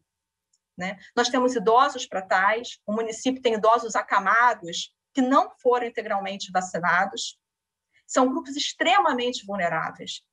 Nós temos só 4% da pessoa com deficiência vacinada. Então, é isso. Nós temos ainda muitos passos a serem ajustados. E me, me aflige muito ter uma falsa sensação de que estamos vacinando muitos, quando não estamos vacinando muito os realmente aqueles que precisam. Obrigada, doutora Thais. Doutor Arthur, do Conselho Nacional de Saúde, em seguida, a doutora Gunnar. Boa tarde, doutora é, acho que me senti bastante contemplado na sua fala, muito, muito em, em coerência com o que o Conselho Nacional de Saúde tem defendido. Mas, antes de mais nada, agradecer o convite, deputada Marta Rocha, é um prazer estar aqui com você, deputado Rubens Bom Tempo, aliás, a Escola de Epidemiologia de Petrópolis sempre foi uma escola excelente, né? É, agradecer também estar aqui junto com a deputada Rejane, deputado Valdec, enfim, todos os deputados dessa casa. E, antes de mais nada, doutora, é, deputada Marta Rocha, elogiar a LERJ né, pela votação semana passada do projeto de lei dos albergados das antigas colônias do Rio de Janeiro, né, que para nós tinha um, é, um potencial muito grande de reparar um erro cometido num projeto de lei há 10 anos atrás, que foi ter dividido um grupo ao meio, como é o que está acontecendo agora com a situação das vacinas. Né? Por uma ausência do Executivo Federal, por uma ausência de uma discussão mais aprofundada, falta vacina. E quando falta vacina, é, muitas vezes os profissionais têm que fazer uma, uma escolha de sofia, né? E a população de, começa a se degladiar, porque qual é o próximo a ser vacinado? Qual vai ser a prioridade? Né, o próprio Conselho Nacional de Saúde foi contrário à priorização das forças de segurança, tendo tantos outros grupos muito mais claramente vulneráveis e numa situação de comorbidades ou situações é, adversas muito mais importantes para terem sido colocados na frente de vacina. Doutora Gunnar, que vai falar em seguida, sabe que o Conselho e a Abrasco estão alinhados na busca de vacina para todos e todas. Né? Na verdade, de novo, como o doutor Rubens colocou, é, né, o nosso deputado Rubens Bom Tempo colocou, a questão é que falta. Né? E, quando, e falta diálogo. Na hora que falta diálogo com o executivo, o executivo não escuta o controle social, não escuta a sociedade civil, não escuta é, é, os grupos é, e, e, mobilizados, enfim, de pessoas com comorbidades, né? a Zaira está aí do Conselho Estadual e, e o Everaldo, enfim, quando o Executivo não escuta, nos resta o caminho do Legislativo e o Judicial. Né? Só para citar como exemplo, eu sou da, da área da Hanseníase, e a área da Hanseníase, claramente, cientificamente, a gente levantou com maiores especialistas a questão, por exemplo, da utilização de, corte, de corticoides e talidomida em pessoas com reações, muitas vezes reações fortes da hanseníase, é, se encontram em vulnerabilidade não estão no calendário oficial, porque a escuta de populações vulneráveis é complicado, a nossa representação é pequena, né? nossa escuta dentro da sociedade de grupos vulneráveis é muito baixa. E aí, é, se a área técnica não alerta, se o PNI, se o Programa Nacional de Imunizações, não percebe, isso é fácil rastrear o tamanho desse grupo, seja ele pelos dados oficiais do, né, do, do próprio, é, é, enfim, do, dos próprios dados oficiais brasileiros, que dá para cruzar com quem está tendo reação. Enfim, daria para levantar facilmente esse grupo e não deixar que as pessoas estivessem morrendo na ponta. Na, né, muitos, muitos dessas, inclusive muitos militantes no nosso próprio movimento, nas antigas colônias de Hanseníase, a gente teve muitas perdas. As perdas, é, esse dado não se cruza, né? De quantas perdas foram feitas de grupos que poderiam ter sido imunizados já, se a gente não tivesse ido para outras direções. Então, a posição do Conselho Nacional de Saúde é essa, sim, de vacina para todos e todas. É, é uma posição que aumenta ali o olhar da pandemia para um conceito de sindemia, e muitas vezes esses grupos de, que, são, que têm comorbidades, eles estão também em vulnerabilidade, eles estão com outros é, é, fatores de riscos sociais e epidemiológicos. Né? Então, vacinar os grupos em comorbidades é uma estratégia poderosa em termos epidemiológicos. Né? E com relação à pactuação, é claro que tem, como a doutora Thaisa já colocou, essa abertura né, é, que representa a gente avaliar profundamente o impacto disso nos estados, mas tem a abertura das pactuações na CIB com relação à epidemiologia de cada estado, com as diferenças epidemiológicas de cada estado, mas o Rio de Janeiro pode sim é, levar o secretário. Aliás, o secretário já tem uma história, já conheço o, o secretário já há longa data, já de ter participado de várias atividades com o próprio movimento, né? É, pode levar sim várias demandas nascidas no estado do Rio de Janeiro para a pactuação federal. Né? Então, através da tripartite, através do CONAS, de estar levando essa situação para o programa nacional. Então, esse é um pouco o que eu trago aqui, Marta Rocha, é um pouco a, a, a, a posição do Conselho Nacional de Saúde. A gente já emitiu diversas recomendações, diversas resoluções, vários debates nos grupos vulneráveis, inclusive discutindo a situação de populações, por exemplo, como é a situação é, da população em situação de rua, dos grupos vulneráveis em situação de rua, discutindo também o quanto que a gente tem tido o impacto da, da mortalidade ou da letalidade da, da Covid-19, por exemplo, quando a gente cruza aí a questão é, racial. Então, a gente tem sim uma população mais pobre e negra morrendo de Covid antes do, do, dos brancos e ricos. Então, é importante que a gente pense bastante nisso quando for discutir a questão de quem é o grupo vulnerável, de quem a gente precisa vacinar primeiro. E, é claro, antes disso, que a gente tenha vacina para todos e todas, que a gente não precisasse estar fazendo esse tipo de discussão, estabelecendo aí quem é que vai morrer antes ou não, né, como escolha de Sofia, ou é, deixando que a sociedade brigue entre elas, quando esse deveria ser sim um papel do executivo. Obrigado, deputada Marcia Rocha. Eu vou ter que, deputada, eu vou ter que me retirar porque me botaram também numa reunião do Senado. Vai ter um projeto, tem um projeto de lei discutindo. Todos nós, todos nós estamos em 300 audiências ao mesmo tempo. Essa nossa vida assim virtual está complicada. Eu peço desculpas, então, de ter que me retirar, mas acho nós que também precisamos pessoas... encerrar a nossa reunião às 16 horas, por isso que eu vou pedir é, para os próximos inscritos, para ser um pouco mais objetivo, que ainda quero ouvir é, o doutor Flávio, do CREMERJ, a doutora Deise, do Conselho Regional de Enfermagem, e também a dona Zaira, do Conselho Estadual de Saúde. É, doutora Gunar, por favor. Boa tarde. É, queria começar agradecendo a deputada Marta Rocha, cumprimentar os demais deputados aqui presentes, a doutora Thaisa, ao companheiro do Conselho Nacional de Saúde e a todos os demais aqui presentes. Eu queria começar dizendo e também cumprimentar é, o secretário de Saúde e os colegas da Secretaria de Saúde. Eu queria fazer apenas um reconhecimento. Eu entendo a pressão que a Secretaria de Saúde do Rio de Janeiro deve estar sofrendo nesse momento. Aliás, eu tenho toda a solidariedade com o grupo técnico de sanitaristas que bravamente não são, não, não são aqueles só da linha de frente, mas que também estão na gestão. Não é simples, não é fácil. Não é fácil fazer a gestão dessa mais grave pandemia que o Brasil está enfrentando. E eu queria só recuperar duas coisas que foram muito bem colocadas pela doutora Thaisa e pelo Arthur. O SUS. O SUS funcionando, o Programa Nacional de Imunizações Nacional, ele é nacional funcionando, veria tudo isso não precisaria de lei, não precisaria de defesa de que grupo entra, que grupo não entra. O SUS pressupõe tudo isso. A gente já fez isso muito bem, o Brasil já foi premiado por isso por esse Programa Nacional de Imunizações, que garante vacina de ponta a ponta no mesmo dia dentro de uma campanha. Então, o que a gente está vendo, é claro que temos que reconhecer que há escassez de doses de vacina, isso já foi muito bem colocado. Se não tivesse esse problema, eu acho que a gente poderia recuperar. Mas aconteceu também, ao mesmo tempo que o vírus chegou ao Brasil, numa situação de enfraquecimento desse programa. E é por isso a dificuldade. É claro que o programa tinha que ser igual no Brasil inteiro. A gente não precisaria estar discutindo quem são os grupos prioritários. O programa definiu e a vacinação vai ser assim. Como é para o sarampo, né? como é para a influenza, a gente sabe. Não há, não há dificuldade, a população entende. Então, o que eu queria perguntar aos companheiros, os colegas da Secretaria de Saúde, meus colegas sanitaristas, se é possível melhorar a comunicação dessa vacinação. A população precisa entender o que está acontecendo.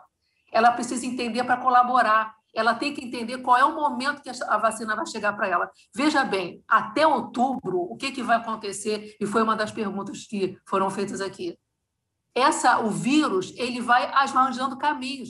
Nesses caminhos que ele vai arranjando entre as pessoas não vacinadas, vai tendo mutação. E aí se cria uma nova cepa. Se essa vacinação demorar, o risco disso é muito grande o risco é muito grande. A gente está deixando populações não vacinadas, que são, de fato, a população mais vulnerável para morrer da doença. Na realidade, o que a gente está falando é isso. A população vulnerável, a população de rua, não consegue reivindicar. A população que está em, em asilos, que é a população que vive com doença permanente, não consegue se organizar para reivindicar isso. Então, é desses que nós precisamos cuidar. E a gente precisa cuidar buscando, vai ter que ter buscativa disso. E essa é a minha pergunta para a secretaria. Não é possível fazer a buscativa desses, a buscativa dos que fizeram a primeira dose. Veja bem, a eficácia dessas vacinas, das vacinas que estão disponíveis no Brasil depende de duas doses. Uma dose, a eficácia não é suficiente, ela não vai ser efetiva. Não é possível buscar isso. E, ao mesmo tempo que a gente busca essas pessoas para a segunda dose, que a gente orienta corretamente, que a secretaria tem condição de fazer a comunicação, não é possível fazer a vigilância epidemiológica. O que é vigilância epidemiológica? É o que a saúde pública sempre fez: isolar os casos suspeitos e confirmados, fazer buscativa de seus contatos para diminuir a transmissão. Gente, até outubro, até outubro tem muito tempo até outubro, para que todo mundo tenha o que a gente vai, o que a gente fala muito, né? Garantir a imunidade coletiva, 75% da população mais ou menos vacinada, falta muito tempo. Até lá a gente vai ter um calendário de mortes. Infelizmente é verdade. Então a gente não consegue, junto com a vacinação, fazendo busca ativa dos que precisam fazer a segunda dose, indo atrás dos vulneráveis e fazendo a vigilância, a secretaria não consegue oferecer isso. Não é por aí a melhor medida da gente enfrentar essa pandemia com essa escassez de vacina e com essa dificuldade, falta de apoio do governo federal. Temos que chamar a atenção disso. A falta de apoio do governo federal. Não é possível a gente fazer isso? Essa é a minha pergunta aqui que eu deixo. Eu vou passar para o doutor Mário Sérgio, que vai continuar conosco, que o secretário precisou se ausentar e queria aproveitar, doutor Mário Sérgio, para o senhor então fazer as colocações por parte da secretaria, o senhor que agora está à frente da vigilância sanitária, é, pedindo aí objetividade, que eu ainda quero ouvir o Conselho do o CREMERJ, o Conselho Estadual de Enfermagem e o Conselho Estadual de Saúde. Doutor Mário Sérgio. Boa tarde, senhores deputados, doutora, é, doutora deputada Marta e demais deputados, doutora Thaisa, colegas aí do conselho.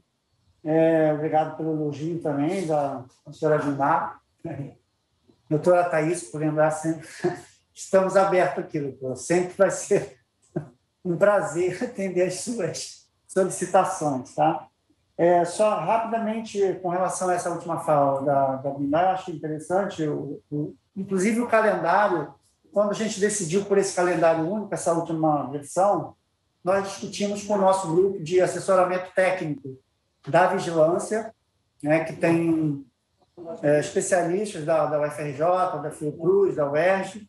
Nós fizemos a consulta sobre a necessidade do calendário seguir a, a, o critério da idade exatamente pela, pela, pela situação da exposição. Maior exposição, quanto maior a idade, maior exposição a formas graves e, e óbitos. E for, eles foram unânimes para a gente fazer essa discussão, inclusive seguir mais ou menos o que o, o, país e foi também um pleito da Associação Nacional de Prefeitos junto ao Ministério que esse calendário fosse unificado, né, que se pensasse na, na, na unificação com essa proposta de, de seguir por idade, por faixa etária, da maior para menor até os 18 anos, porque isso facilitaria isso que a UNA falou a comunicação. Esse foi um dos critérios que eles, um dos argumentos que eles utilizaram, a, a dificuldade da ponta da, da, dos técnicos em seguirem é, a observação, por exemplo, do filtro, de qual critério, quando você chega lá, que o profissional diz que ele é motorista de caminhão, motorista de coletivo, ele é motorista disso, daquilo,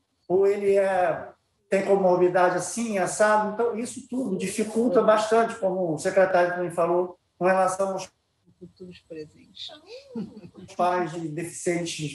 Isso facilitaria bastante, se seguisse por faixa etária, é, o trabalho da ponta, né? porque é apresentar a identidade, como já está caracterizado, os documentos do Ministério estabelecem que a vacinação agora segue o critério de maior risco, e o maior risco são as pessoas com maior idade.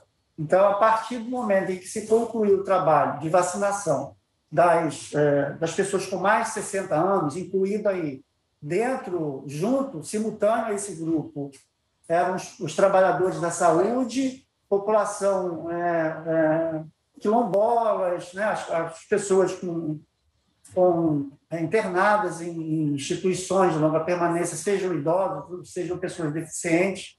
Então, é que seguiram-se até conclusão das faixas etárias acima dos 60 anos que seria reconhecidamente o grupo de maior risco. A partir daí, concluir-se as comorbidades das pessoas com deficiência e as gestantes, numa questão momentânea da vacina, né? é um grupo de risco, a gente não tem avaliado isso, até bom que a gente cite, nós vamos fazer uma avaliação amanhã, uma reunião com, com a CIB e vamos apresentar esse indicador no Estado do Rio de Janeiro, né? essa questão do aumento da frequência de gestantes de formas graves, é, linearmente ela não tem apresentado é, maior gravidade que, a, que as demais pessoas. O fato é que quando você aumenta o número de casos da população geral, quando você tem uma explosão de casos, todos os grupos eles também aumentam simultaneamente. Alguns grupos sim chamam atenção, que aí a gente tem alguns grupos de maior exposição por conta da atividade laboral, é, não só especificamente por conta da idade. Mas a gente entende, e isso foi o argumento do grupo, de que isso facilitaria bastante a comunicação com a população, ela saber qual vai ser o mês que ela vai, vai ser vacinada por questão da idade e vai facilitar o trabalho da equipe da ponta, né, que está sendo sobrecarregada, como o Aguinar falou, é a pessoa que está no, no front, é a pessoa que enfrenta lá a dificuldade das, dos, dos desonestos que levam falsos atestados, etc. Todo mundo sabe disso. Então, esse profissional é que tem que dar o não, tem que dizer o não ou sim e vacinar. Numa situação que a população sabe que a vacina pertence a ela. A vacina não é do técnico que está no posto, não é do, do, secretário de saúde do município, nem do estado, nem do prefeito, ninguém. A vacina é da população. E quando essa vacina chegar na ponta, a pessoa quer tomar vacina. Infelizmente, como não tem vacina para todos, você cria alguns critérios. E esse profissional na ponta é que tem que dizer o sim, que tem que dizer o não. E isso vai facilitar quando esse, no momento em que a gente entra na questão da faixa etária, da vacinação por faixa etária, a gente elimina essa dificuldade. Isso é um dos, dos pontos de, de argumentação para esse calendário único que foi acordado com o COSENES. Com relação a, a evitar né, a, a, doença, a gente sabe que também é uma falha, apesar da imprensa estar, tá, estar ajudando muito na questão da comunicação para, para evitar, por exemplo, as aglomerações, a gente vê os abusos sendo cometidos, os desrespeitos sendo cometidos, e por mais que você faça uma comunicação eficaz, a secretaria tem, através da sua assessoria de comunicação, trabalhado em, em, em campanhas mais é, de mídia espontânea, utilizando a própria disponibilidade da, da, da imprensa em geral. A imprensa geral ela, ela critica bastante os governos, óbvio, mas também tem sido uma aliada na divulgação dessas medidas de, de, de contenção que nós colocamos semanalmente nos nossos boletins e que estão disponíveis também no site, onde se diz lá, no momento que você fecha o mapa de risco, você diz quais são as regras,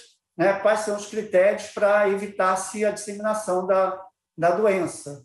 E a gente sabe também que semanalmente a gente publica ou republica os decretos com algumas recomendações um tanto quanto antipáticas, principalmente para quem milita no comércio, trabalha com comércio, principalmente, que são prejudicados diretamente, mas, infelizmente, são as, são as medidas que a gente pode fazer e que pode comunicar de alguma forma. Não sei o que, o que seria hoje, é, que acrescentaria mais quando a gente ouve o Bom Dia Rio, por exemplo, desculpe aqui estar falando de uma emissora especificamente, mas é que tem a maior audiência dos programas, dos seus programas é, jornalístico, a gente ouve sempre né, os, os comunicadores falarem na questão do, do, isolamento, do distanciamento.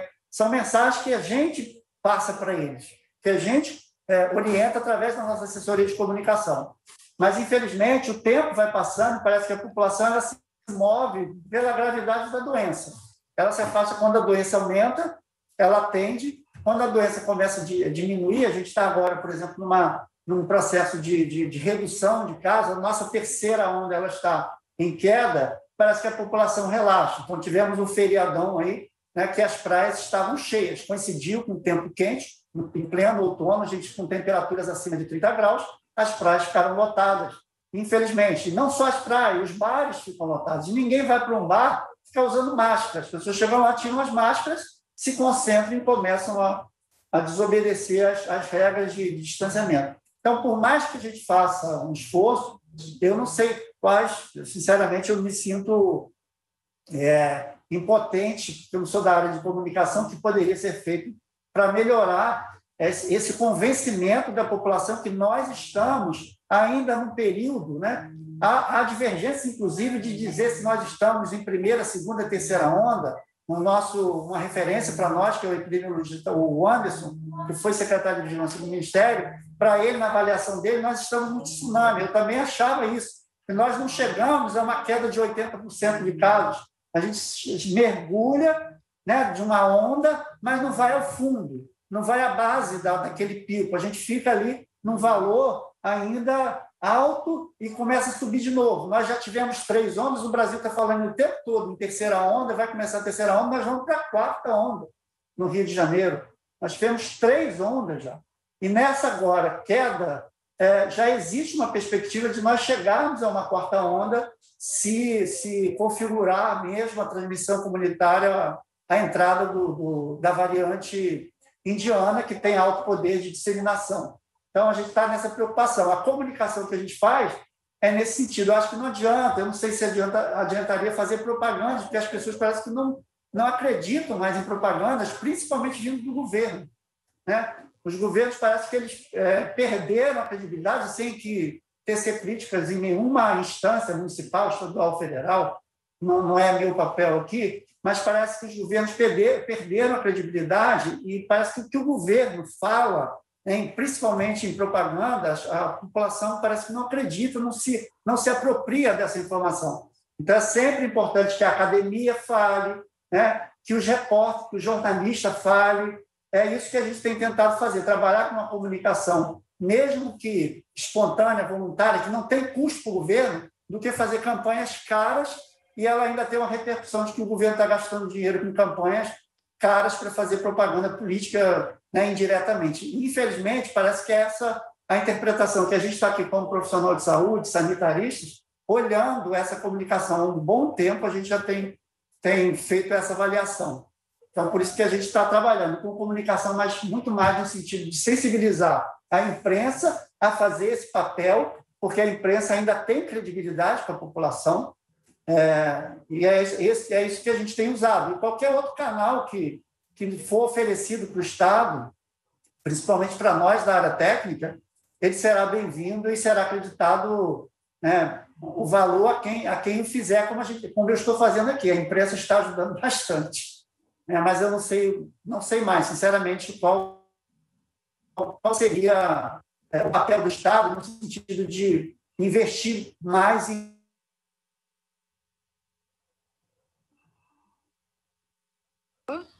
Doutor Mário Sérgio está aí? Alô? Doutor Mário Sérgio está aí? Ele caiu. Ah. Enquanto a gente faz contato, eu queria então passar para o CREMERG, em seguida para o Conselho Estadual de Enfermagem e para o Conselho Estadual de Saúde. Doutor Mário já voltou, eu acho. Doutor Mário voltou? Estou aqui, estou a gente vai fazer mais uma rodada de intervenção, mas eu queria que o senhor fosse mais objetivo em duas indagações, né?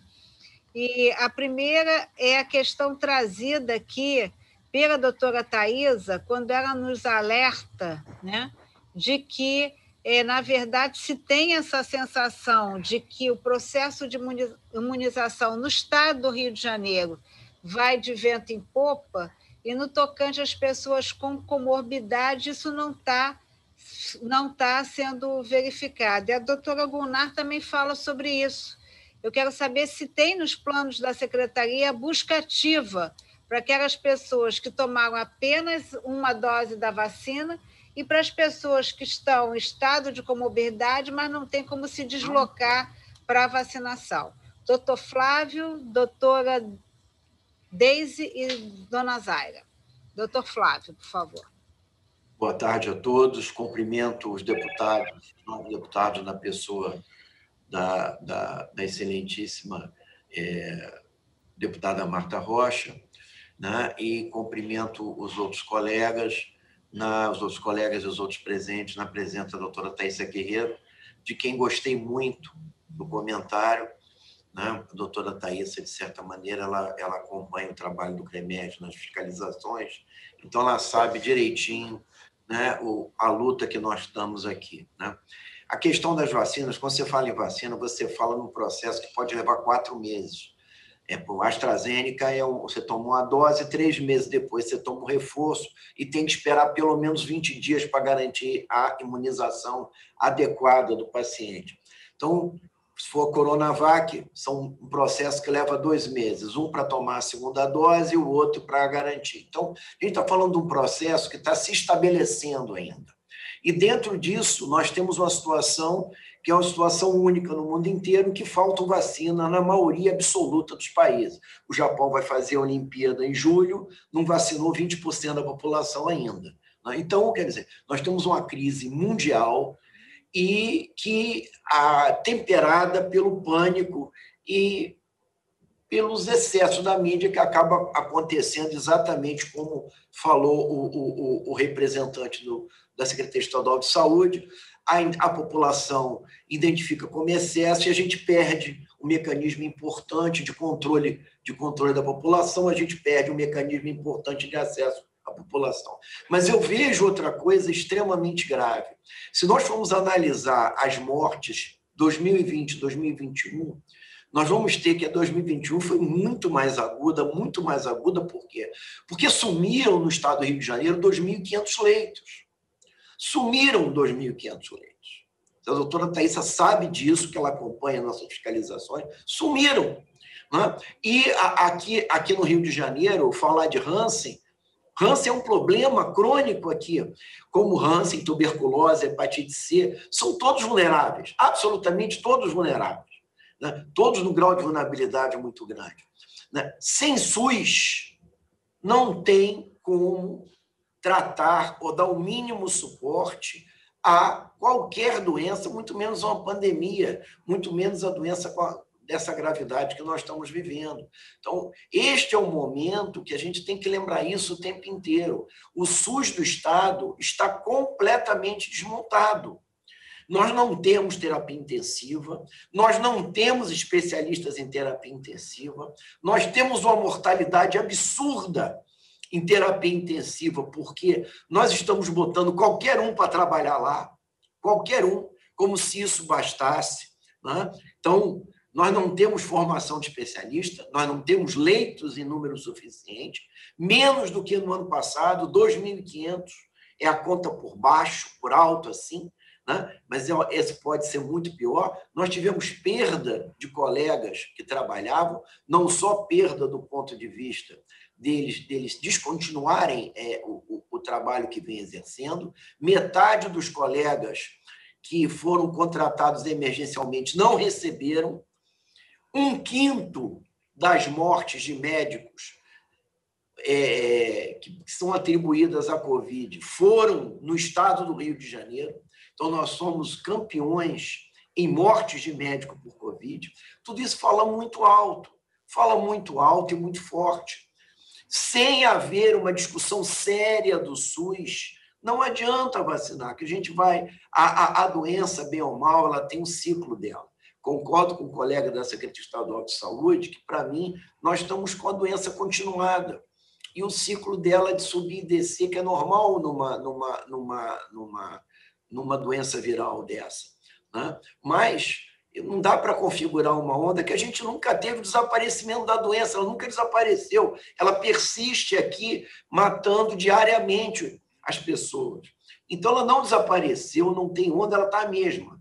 Agora, o que desapareceu? Desapareceu leito de hospital, desapareceu médico especialista, isso desapareceu. E a hora que acabar, acabar a pandemia, porque ela vai acabar, entendeu? Toda natureza tem um início, meio e fim, ela vai acabar. Né? E nós vamos ser vacinados dolorosamente, no ritmo muito inferior ao que é necessário, entendeu? Muito inferior ao que é necessário, mas nós vamos ser vacinados. Né? E nós vamos começar a sentir o peso dessa vacinação para valer a partir do segundo semestre, que a gente vai ter o grupo de risco vacinado, que é esse que tem que ser feito. O grupo de risco são os que mais adoecem, são os que adoecem de maneira pior. Esses têm que ser priorizados. Né? Mas eu gostaria de enfatizar isso. A gente precisa ter um olho atento para o SUS. O SUS no nosso estado acabou. Acabou. Os hospitais estão em frangalhos, Não há suporte para alta complexidade e essa doença expõe isso. Não existe tratamento de doentes com Covid sem alta complexidade. E ela se foi embora do nosso estado. Então, nós vamos conviver, enquanto for com essa doença, com números altíssimos de mortalidade. Por quê? Nós não temos estrutura de suporte para todos os doentes. Isso é triste, isso é vergonhoso, isso é pior do que não ter vacina. Extremamente pior do que não ter vacina.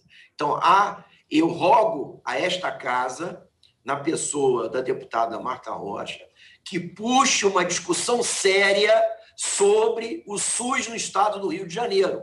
Porque, da maneira que as coisas estão, é isto vai acabar e nós vamos continuar o genocídio na forma de pacientes com câncer que não foram diagnosticados nesse período, dos cardiovasculares, os cardiopatas que não têm como se recuperar sem onerar o Estado, sem aumentar a lista dos membros da Previdência Social, não são recuperados hoje no serviço público para retornar às suas atividades, né? porque a gente não tem como fazer isso no serviço público. Eu tenho quase 35 anos de serviço público. Né? E eu nunca vi a situação da maneira que está aqui no estado do Rio de Janeiro. Então, não é só vacina. A gente tem que brigar pela, pela é, é, vamos dizer, o, o SUS como fênix renascendo, renascendo das cinzas. E rogo a todos aqui que se preocupem com isso, comecem a discutir isso agora, que a saúde é prioridade nas conversas porque se deixar para discutir isso quando, quando o problema passar, não vai ter mais nada para salvar, nem mais nada para fazer. Eu agradeço o convite, agradeço a oportunidade de falar, mas realmente nós do Conselho estamos muito preocupados com a assistência e a diminuição violenta da capacidade de suporte à saúde no nosso Estado. Tá? Obrigado a todos. Obrigado, deputado Marta Rocha. Obrigada, doutor Flávio. Doutora Deise, por favor. Boa tarde para todos, eh, deputadas, deputada Rejane como colega de categoria, enfermeira também, é, todos os demais presentes, obrigada pela oportunidade de falar. É, penso que os colegas anteriores falaram muito bem, Gunnar, Thaisa, a Rejane, enfim, da nossa preocupação ela é enorme, porque eu não entendo como terceira, quarta onda, eu acho que a gente não saiu nem da segunda. É, eu penso que o erro está lá no início, quando não se levou a sério como a ciência mostrava a situação gravíssima do SARS-CoV-2 é, causador da Covid, e se abriu mão de várias medidas básicas de barreira que poderia evitar a situação no qual a gente está hoje. Então, o erro está lá atrás. Né? Agora a gente só está vivendo consequências desse erro. A produção de vacina ela é muito complexa. Eu sou professora titular da UFRJ, então falo também como é, representante de uma academia de pesquisadores.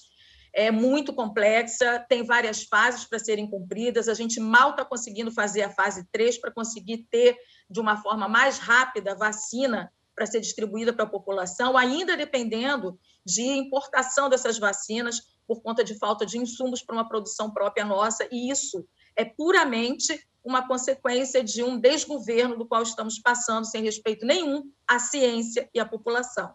Então, isso eu considero muito grave.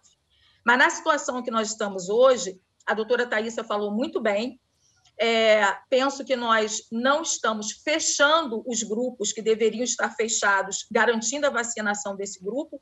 Então, está havendo uma emenda e a gente está com a falsa ideia de que o grupo anterior foi vacinado e não foi, e a gente não fecha nem o anterior, nem fecha o atual e não consegue entrar no próximo.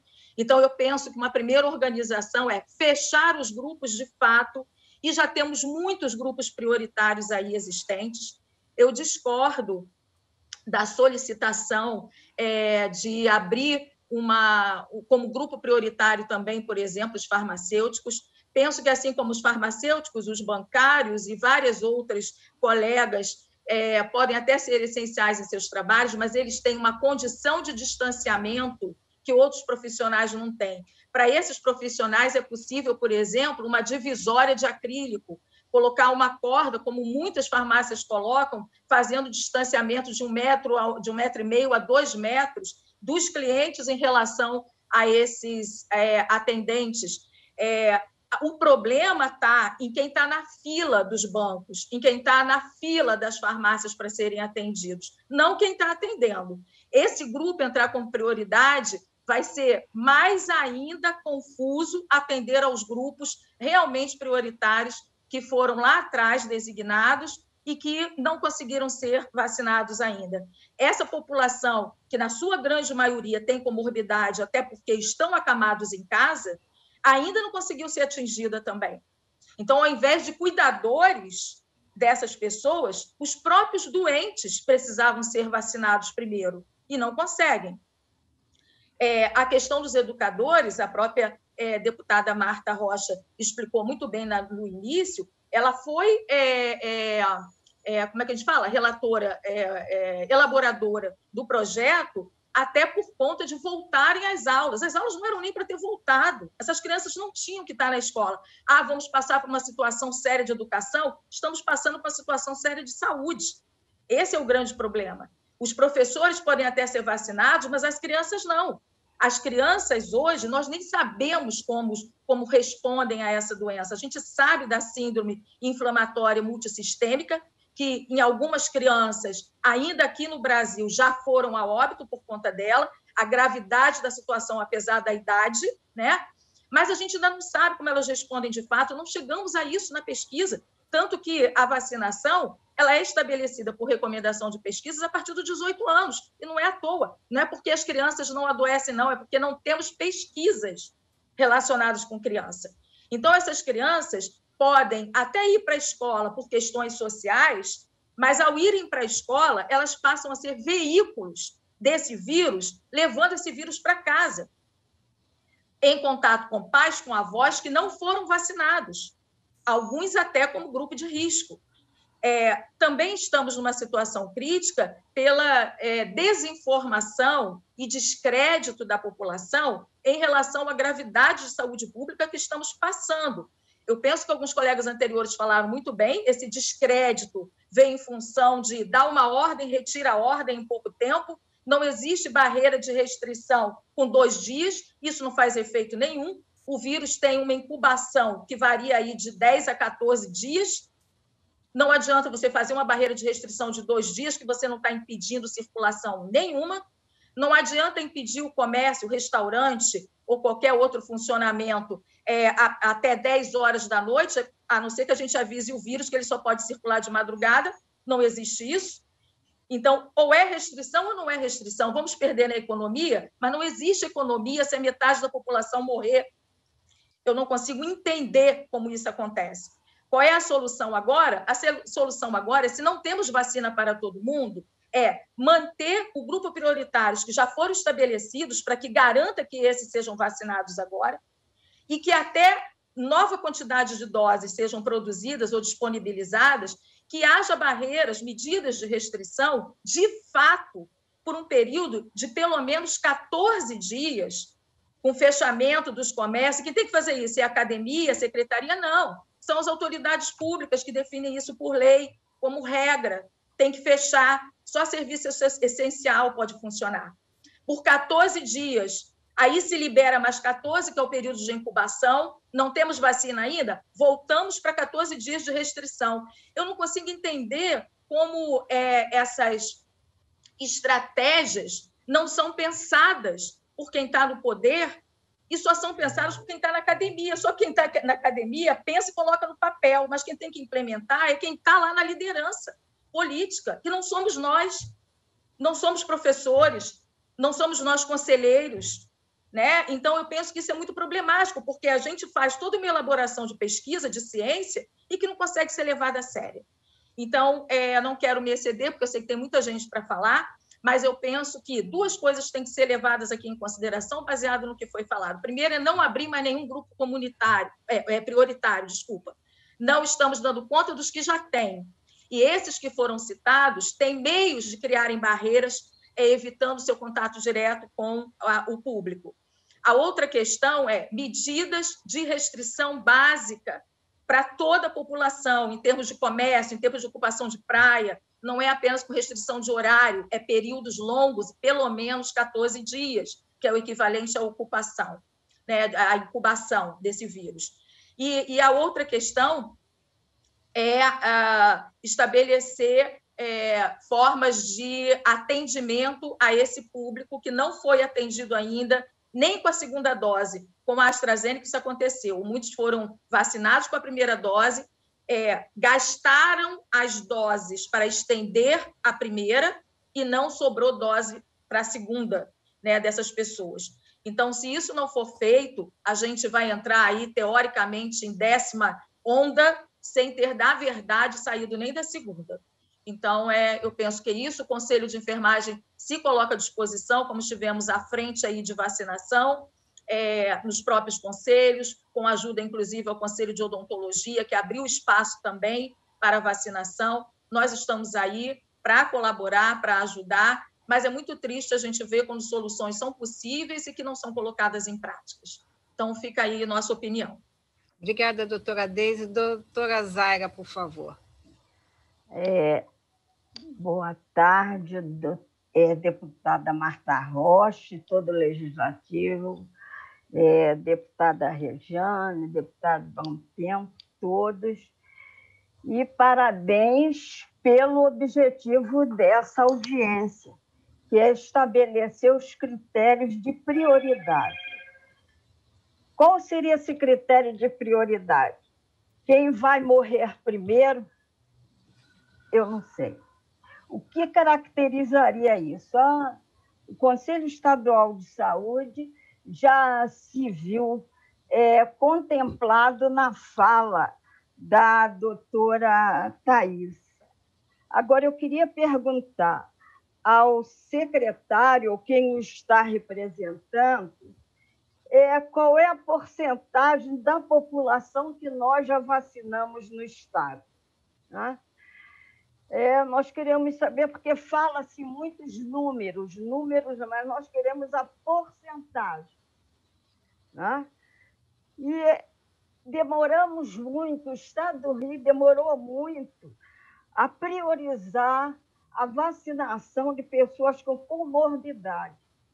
Porque, embora o Ministério da Saúde não tenha autorizado, outros estados tiveram essa preocupação e evitaram-se muitos óbitos. Né? Outra coisa que eu gostaria de destacar e gostaria de perguntar ao representante secretário de saúde é que sabe-se que um a cada seis infectados pelo Covid desenvolve é, uma dificuldade respiratória ou tiveram é, pneumonia bacteriana. Outros foram a óbitos por causa de septicemia. Aí eu pergunto, por que não aplicaram também, junto com a vacina da Covid, o pneumo 13 e o pneumo 23, que poderiam ter evitado essas, esses óbitos? É, é preocupante que, por exemplo, nós temos casos lá no Conselho, denúncias de pessoas do pós-Covid. Qual é a preocupação da Secretaria de Saúde no pós-Covid a essas pessoas que estão assim quase que debilitadas e sem condições de se recuperar? A secretaria diz que estabeleceu um grupo ou um atendimento, um centralizou no estado do Rio de Janeiro. E a vacina pneu, pneumo 13, por exemplo, 23, só é dada no Carlos Chagas e Manguinhos. Uma coisa que atinge a população toda, to, idoso, criança, toda comorbidade com Covid. Isso piorou e complicou. Quem é médico, quem é infectologista sabe disso. Eu gostaria de perguntar também ao secretário, ao representante secretário, sobre a vacina moderna. Interessante, ninguém falou aqui hoje na vacina moderna.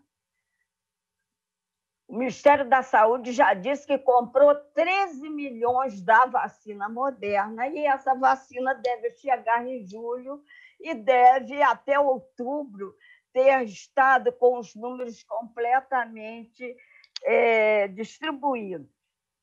Essa vacina, nos Estados Unidos e no Canadá, é a vacina que é usada para crianças e adolescentes com comorbidade. Como é que aqui no Brasil não se fala nisso?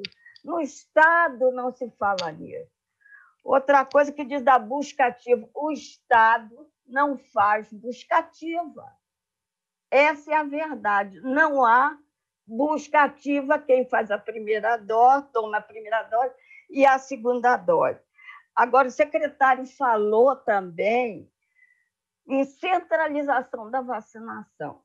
Ora, o Ministério da Saúde, aí há uma complexidade, porque o Ministério da Saúde fala que os municípios têm é, toda a autoridade para ter a, as suas definições ou resoluções de vacinação conforme ele achar melhor, devido à sua experiência local.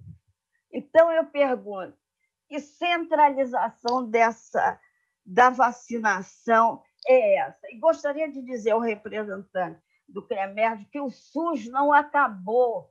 O SUS no estado do Rio, embora a Rede DOR esteja repetindo continuamente de olho no Hospital da Lagoa e no olho de outros hospitais, que o SUS não acabou. Para isso, o controle social, junto com todos os movimentos sociais, com o Conselho Nacional, com a Abras, com o Legislativo, estão aí para evitar isso. Então, eu queria que o secretário repensasse nessa questão da fazana do pneu 13 e 23 para evitar mais óbitos pós-Covid e na vacinação das crianças e adolescentes com a vacina moderna. Não se fala em vacina moderna, não sei porquê. Fui questionar é, a pessoa responsável pelo enfrentamento ao Covid no estado e ela disse: Ah, não ouvi falar. Como se não ouviu falar? Se tá, se eu não sou especialista, não sou de academia, sou representante do controle social dos usuários e sabemos que a vacina já foi comprada. Onde está essa vacina? Eu agradeço, deputada é, Marta Rocha, falo em nome do meu colega que se afastou, porque ele tem a maior comorbidade, ele faz hemodiálise, e cansamos, o Conselho Estadual cansou de entrar com documentos para a secretaria, para que ele tivesse prioridade, e também o representante, o presidente da associação dele, que morreu de Covid, uma morte, que poderia, um óbito que poderia ser evitado se o Estado do Rio tivesse tido a capacidade de priorizar realmente é, essa, essas comorbidades. Eu represento a doença alciforme, mas tem muitas doenças que são prioridades. Né? Então, eu peço humanamente ao secretário que repense nessas prioridades. Não é quem vai morrer primeiro, é quem precisa da vacinação. É, obrigado, deputada. Eu quero agradecer. Eu vou passar um minuto para o deputado Valdec Carneiro, que está precisando sair para uma agenda. O doutor Mário Sérgio vai responder. Em seguida, eu vou passar para as considerações finais rápidas também para o deputado Rubem Bom Tempo e deputada enfermeira Rejane. Deputado Valdec. Obrigado, deputada Marta Rocha. Eu quero, em um minuto mesmo, que tem uma agenda agora com o presidente da Casa, é, primeiro ressaltar as intervenções é, que foram feitas aqui, sobretudo da defensora Thaisa Guerreiro, ao mesmo tempo da minha colega professora Deise, da, da UFRJ. Mas eu queria, sobretudo, deputada Marta Rocha, dizer que é muito importante ressaltar que, nesse contexto gravíssimo que enfrentamos, ai de nós, ai de nós, se não fosse o SUS. Ai de nós se não fosse o SUS. E com todos os limites e problemas que ele tem, principalmente em função do subfinanciamento a que ele está submetido bem antes da pandemia. Na verdade, o que a gente tem que discutir em relação ao SUS, e acho que é oportuno mesmo, aliás, deputada Mata Rocha, na Comissão de Saúde nós tínhamos debatido muito essa pauta, é muito importante, é estratégico fazer uma audiência pública específica sobre a situação, sobre a situação do SUS do Rio de Janeiro, mas para lembrar como que ele vem sendo atacado no Brasil, né? mesmo antes da pandemia, deputado Rubens Montempo. É bom lembrar, por exemplo, a luta que nós travamos para conseguir ativar leitos federais aqui no Rio de Janeiro, que ficaram inacreditavelmente ociosos em plena pandemia e a gente não conseguiu resolver. Então, queria fazer esse destaque e, e, sobretudo, deputada Mata Rocha, eu compreendo bem, o secretário precisou sair, o Mário Sérgio está aí representando a secretaria, compreendo aquela ponderação que ele fez sobre as iniciativas dos parlamentares em relação a grupos prioritários, Vossa Excelência tem razão, isso parte de uma preocupação legítima dos parlamentares, sobretudo diante da grande confusão e da grande descoordenação que foi o Plano Nacional de Imunização por parte do Ministério da Saúde, mas me chama a atenção, é, é sinceramente, deputado Rubens Montempo, que seja necessário pedir o aval do Ministério da Saúde para incluir, por exemplo, os, os trabalhadores de farmácias. Agora, no chat, foi solicitado até que Vossa Excelência mandasse um ofício. Não, o secretário reagiu até de maneira positiva à sua, à sua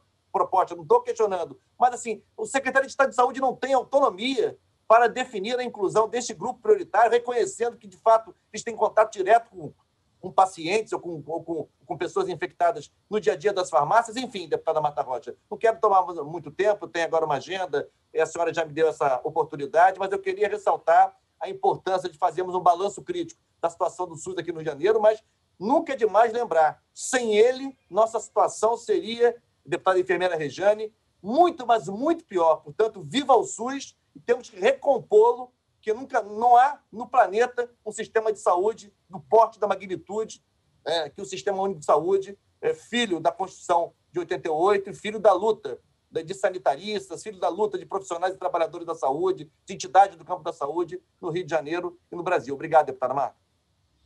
Doutor Mário, eu ia pedir ao senhor uma certa objetividade nos esclarecimentos, mas eu quero voltar a insistir aqui na pergunta. Tá?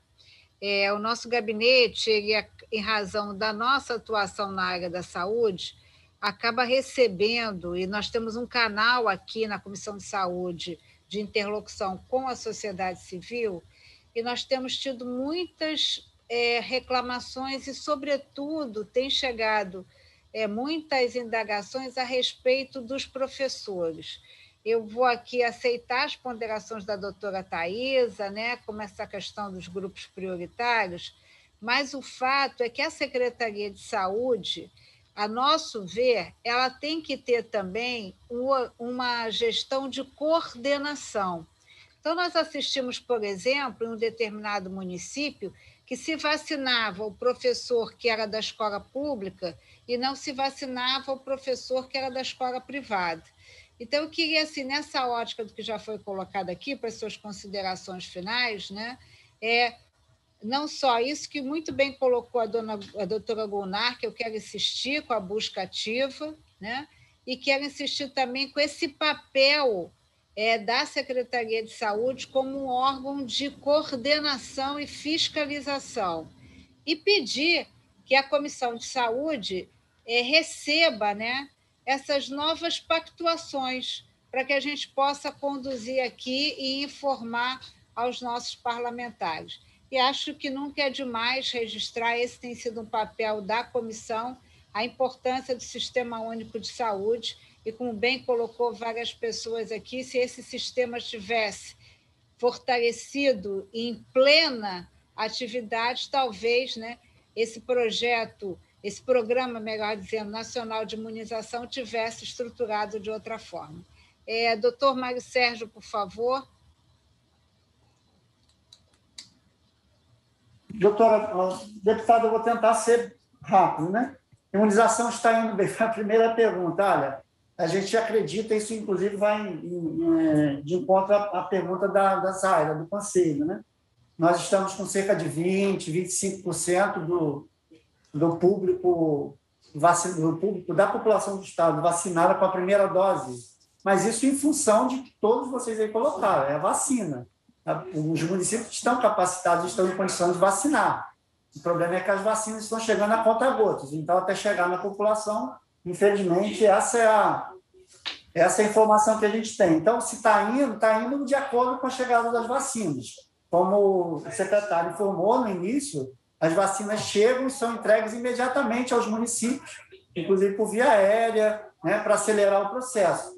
Os municípios, na medida do possível, é, aplicam essas vacinas o mais rápido possível. Com relação às comorbidades, a gente entende, né, pelo menos quando a gente fez a discussão com o COSEMES para fazer o calendário, e fechamos que nós deveríamos priorizar, primeiro, terminar a comorbidade, deficiência permanente e gestantes e puérperas com comorbidade, eram esses três grupos que eles permaneceram como prioridade da prioridade, antes de avançar em qualquer outro, mas que naquela ocasião ficou acordado, porque alguns municípios já estavam avançados na comorbidade e, e deficiência permanente, e outros não. Então, se, se, se previu dentro do calendário que pelo menos 20% das doses fosse extensiva a, a começar, por exemplo, professores, é, avançar nas, nos, nos é, trabalhadores das forças de segurança, mas garantindo que fossem vacinados 100% das comorbidades, 100% da população de rua. Isso foi garantido no calendário. Abriu-se um, um grupo de especiais que seriam, mas esses grupos que eu comentei, é, trabalhadores da, da educação do ensino básico e, e, superior, as forças de segurança. Esse, esses grupos entrariam e também a população privada de liberdade. Imediatamente após esse calendário, o Ministério mandou as doses para vacinar a população privada de liberdade e concluir a proteção também dos trabalhadores que trabalham no sistema prisional. Então, as coisas foram se coincidindo e o Ministério também encaminhou doses para vacinar a população é, de professores. Também é pleito nacional, isso não é uma coisa que saiu, como vocês sabem muito bem, é pressão, às vezes, do movimento, por entendimento do momento. Então, o Ministério começou a liberar doses e essas doses estão sendo repassadas para os municípios. Com relação à busca ativa das, das pessoas, ou sejam idosos, que ainda não se vacinaram, ou comorbidades, a gente sempre lembra que a vacina ela é responsabilidade do município. O Estado não tem ingerência, como a Zaira falou, que ah, o Estado não faz buscativa. Eu entendi o Estado como todo, né, como ente, não como Secretaria Estadual de Saúde, porque a responsabilidade, né, isso é no Brasil, a falha, às vezes, de querer antecipar, de acelerar o processo de vacina e aplicar as vacinas, né, acaba é, deixando, por exemplo, um, um, uma lacuna com relação à buscativa de de pessoas que ficaram perdidas, ficaram para trás, é, principalmente com a segunda dose. Então, isso aconteceu. A questão da segunda dose da Coronavac que foi comentado foi por falta mesmo. Acho que a, foi a Deise que falou. Acelerar o processo, usar dose 2 como dose 1. Um.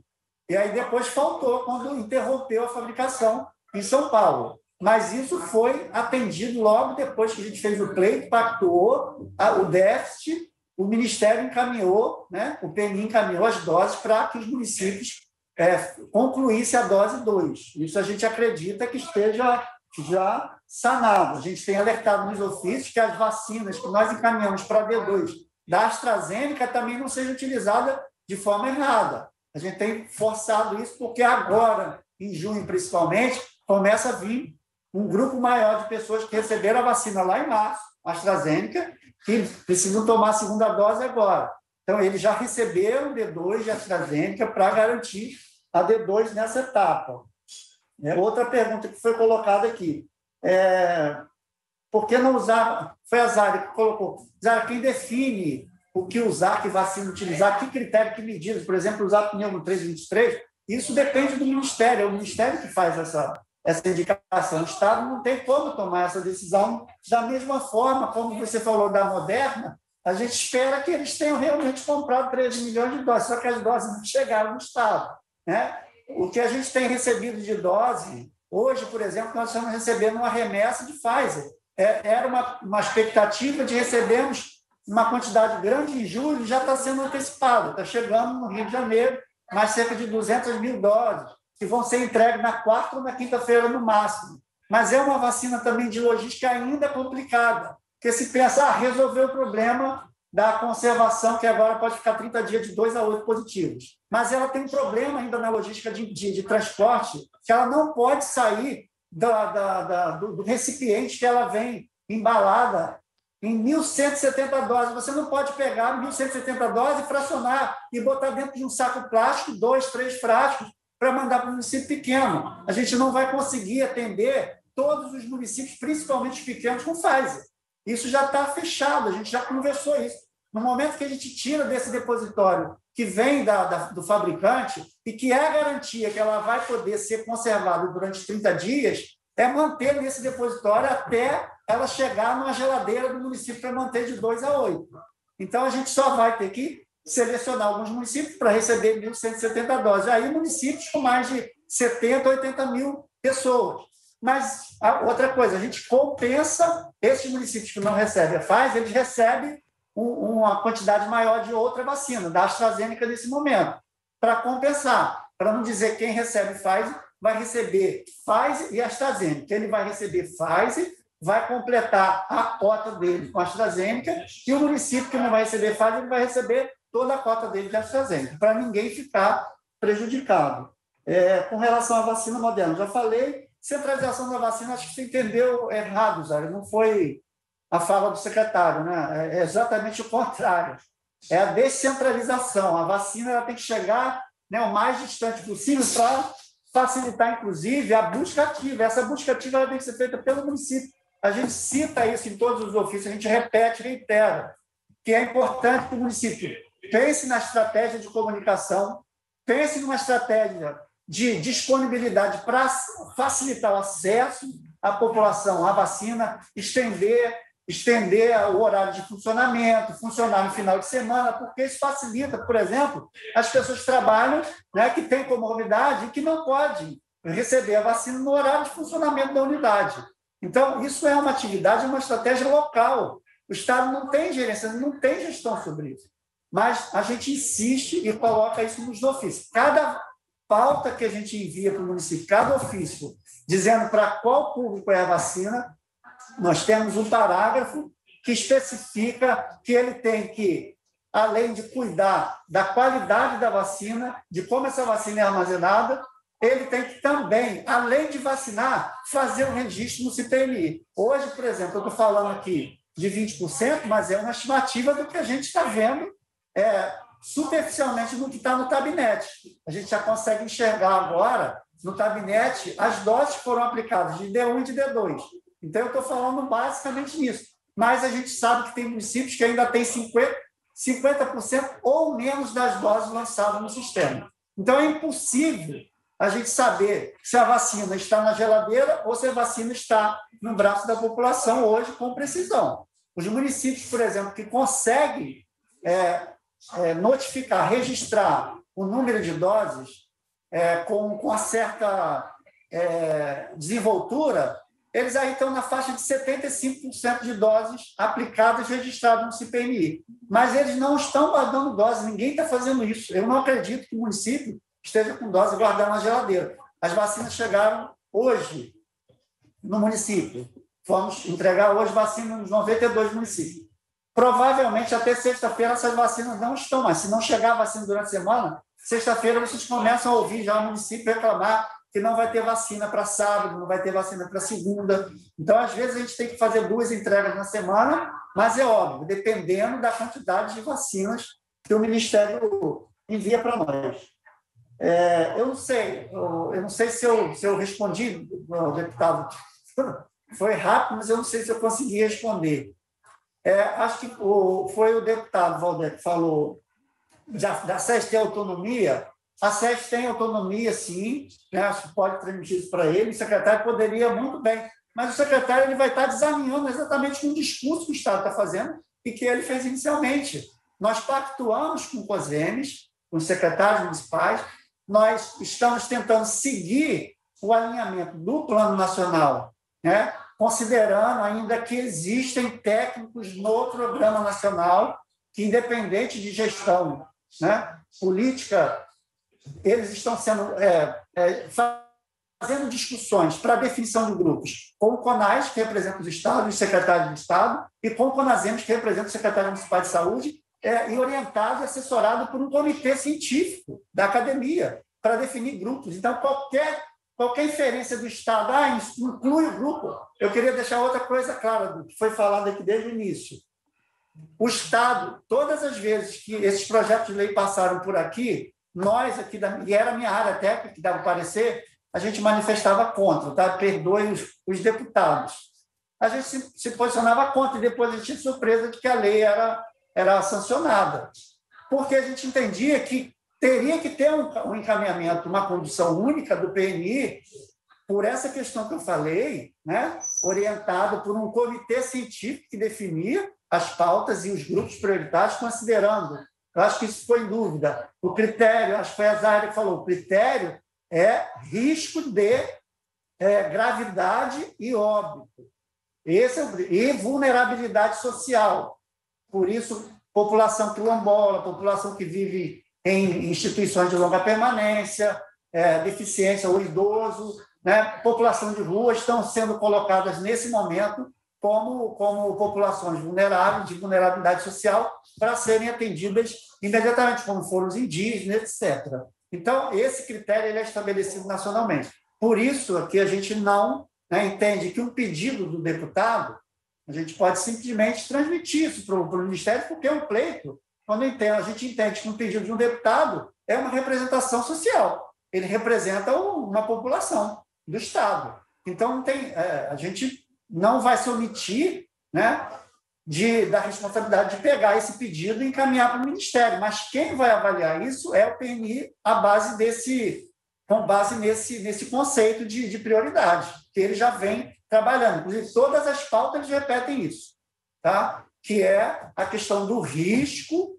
né? o risco de adoecimento e óbito, né? e também por essa questão da vulnerabilidade social. Eu acho que eu consegui aqui responder, pelo menos resumidamente. Não sei se atendeu a expectativa. Eu quero ser incisiva mais uma vez né, sobre esse nosso olhar que a Secretaria de Estado de Saúde ela tem uma função de supervisão. É, por mais que tenha sido estabelecido um critério pelo Programa de, Nacional de Imunização, é, esse, essas decisões são pactuadas pela secretaria. Então, eu volto a insistir que tudo aquilo que foi pactuado pela secretaria, a secretaria tem que exercer essa função de coordenação, de fiscalização. Né? A gente sabe, é só ler os jornais e olhar na TV como os municípios se, se comportam de formas diferentes. Então, a nosso ver, não cabe apenas à população o julgamento mais adiante, no momento do voto, ao Ministério Público, à Defensoria, ao Poder Legislativo. Eu acho que a Secretaria, se faz essa pactuação, tem que ser enfática, enfática tem que ser precisa e exigir dos municípios que eles cumpram essa pactuação. E é o que a gente, na verdade, não está assistindo nisso. Então, eu até consigo é, entender esse desejo da secretaria de pactuar, tudo isso a gente consegue entender, né? Mas eu concordo, com o que foi falado aqui, que acho que foi a doutora Deise que colocou que existem comandos contraditórios, né? Uma hora pode isso, dois dias depois já não precisa mais, né? é, os comandos que pode ir à praia, mas não pode andar no calçadão. A gente entende aí que nessa questão da restrição do isolamento, a gente consegue entender que tem comandos contraditórios, mas eu volto a insistir no papel de coordenação, de fiscalização da secretaria. E pedir também né, para que a secretaria municie a Comissão de Saúde com essas decisões que são pautadas na nessas reuniões tripartites para a gente poder atualizar aqui as nossas questões. Lembrando que nós temos, deputada Rumi Bom Tempo, deputada Rejane, 21 projetos em andamento para tratar de grupos prioritários. É, para considerações brevíssimas, que nós temos apenas quatro minutos para encerrar, é, um minuto para o deputado Rubem Bom Tempo, em seguida a deputada Rejane, por favor. Bem, em primeiro lugar, Marta, mais uma vez, parabéns pela condução dessa nossa audiência pública. Eu gostaria de parabenizar também a todos e a todas que fizeram as suas intervenções, foram muito claras e, e que colaboraram muito para o debate, né? não tem dúvida nenhuma disso. Eu acho que todo mundo sai aqui um pouco mais enriquecido em relação às dúvidas, em relação à conjuntura que nós estamos vivendo. Né? Mas, enfim, eu acho que tem algumas questões que precisam ser assim melhor colocadas. Né? E eu sempre falo que o que vai salvar a economia é a saúde. Não tem outra maneira né, de você conseguir resolver o problema da economia desse país, né, a não ser que você é, queira realmente promover um genocídio coletivo. Aí já é um absurdo que a gente tem que combater. É isso que a gente precisa combater. Então, a gente precisa cada vez mais investir na saúde, na saúde pública, na saúde preventiva, e não na doença. Como já foi muito bem colocado pelo representante do CREMERG, nós temos uma capacidade instalada que é limitada, nós temos recursos humanos que são limitados, nós temos profissionais que são limitados. Né? E a gente precisa acreditar que, quando a gente trata de uma doença infecciosa, né, a gente tem duas grandes armas. Uma é a vacina e a outra é a informação, a informação correta, né, e não a desinformação, não a distorção dos fatos, como isso que está sendo colocado no país há mais ou menos um ano, né, vendo o, o, a política atropelando a coordenação científica, atropelando a Secretaria de Educação, o Ministério da Saúde sendo, a Secretaria de Saúde, o Ministério da Saúde sendo atropelado, né, indo a reboque né, de uma visão estriônica e, e, e extremamente é, contra a ciência, que a gente está comprovando isso agora, e a gente precisa acreditar que a gente precisa dar a informação correta, a gente precisa distribuir máscara.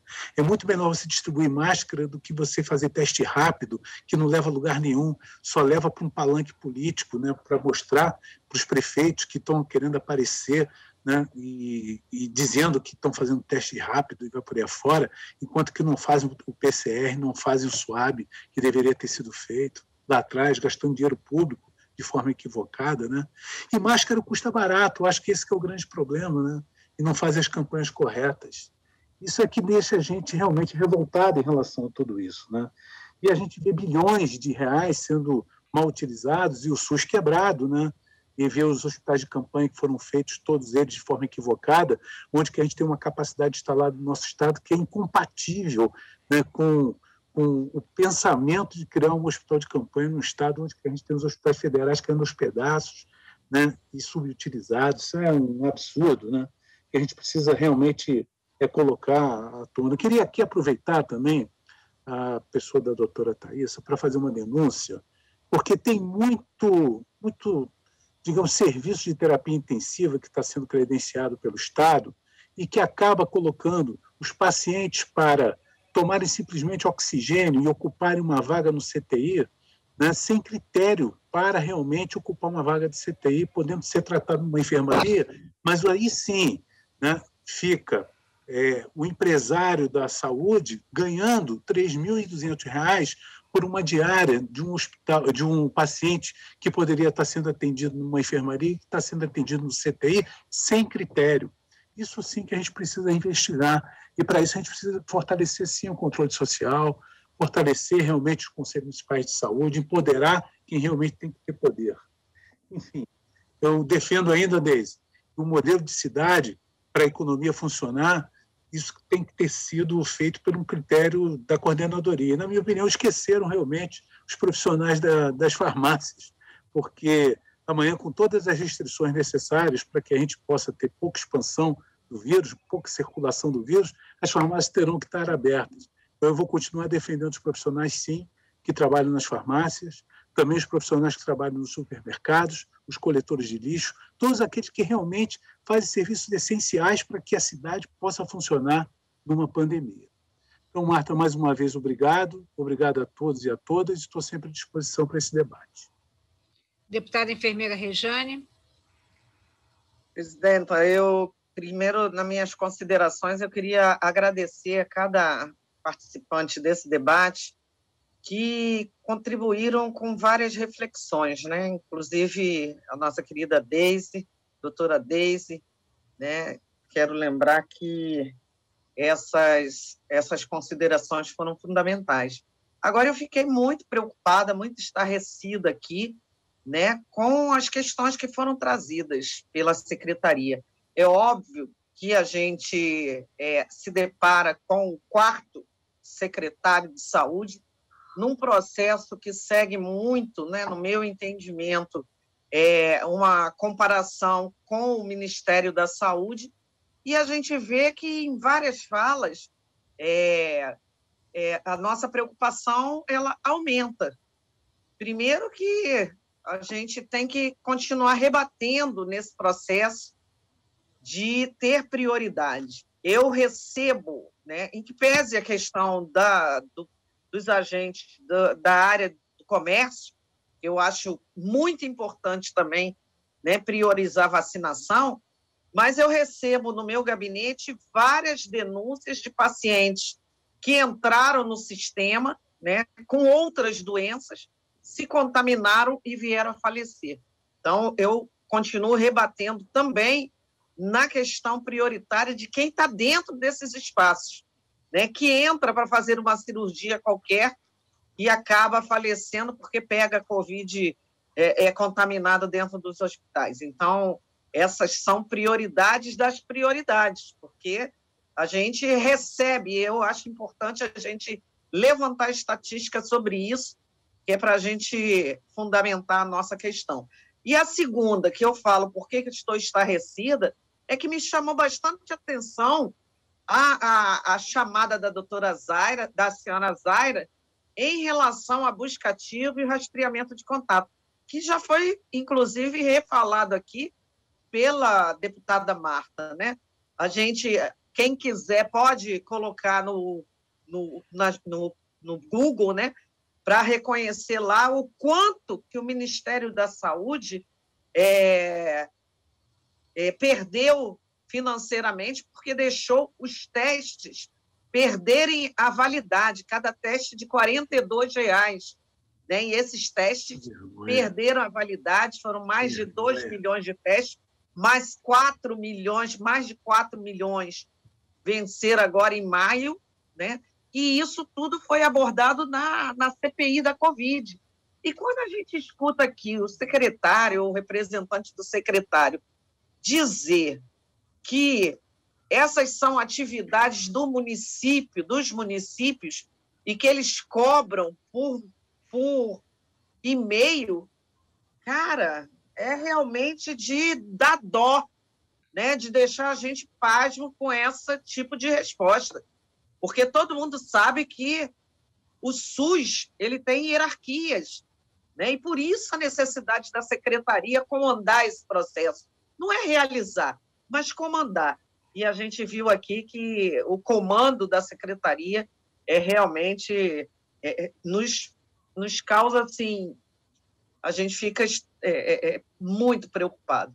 E para terminar, deputada Marta, a questão do SUS que é fundamental. A gente bate nessa questão o tempo todo, a gente fala o tempo todo, a gente pede ajuda né, para toda a sociedade organizada. Está aí o fechamento do Hospital da Lagoa, entregue né, para a Rede Dó, do Hospital do Andaraí, que estivemos lá numa manifestação da população, né, fora o Hospital Cardoso Fontes, fora o Hospital, todos os hospitais federais.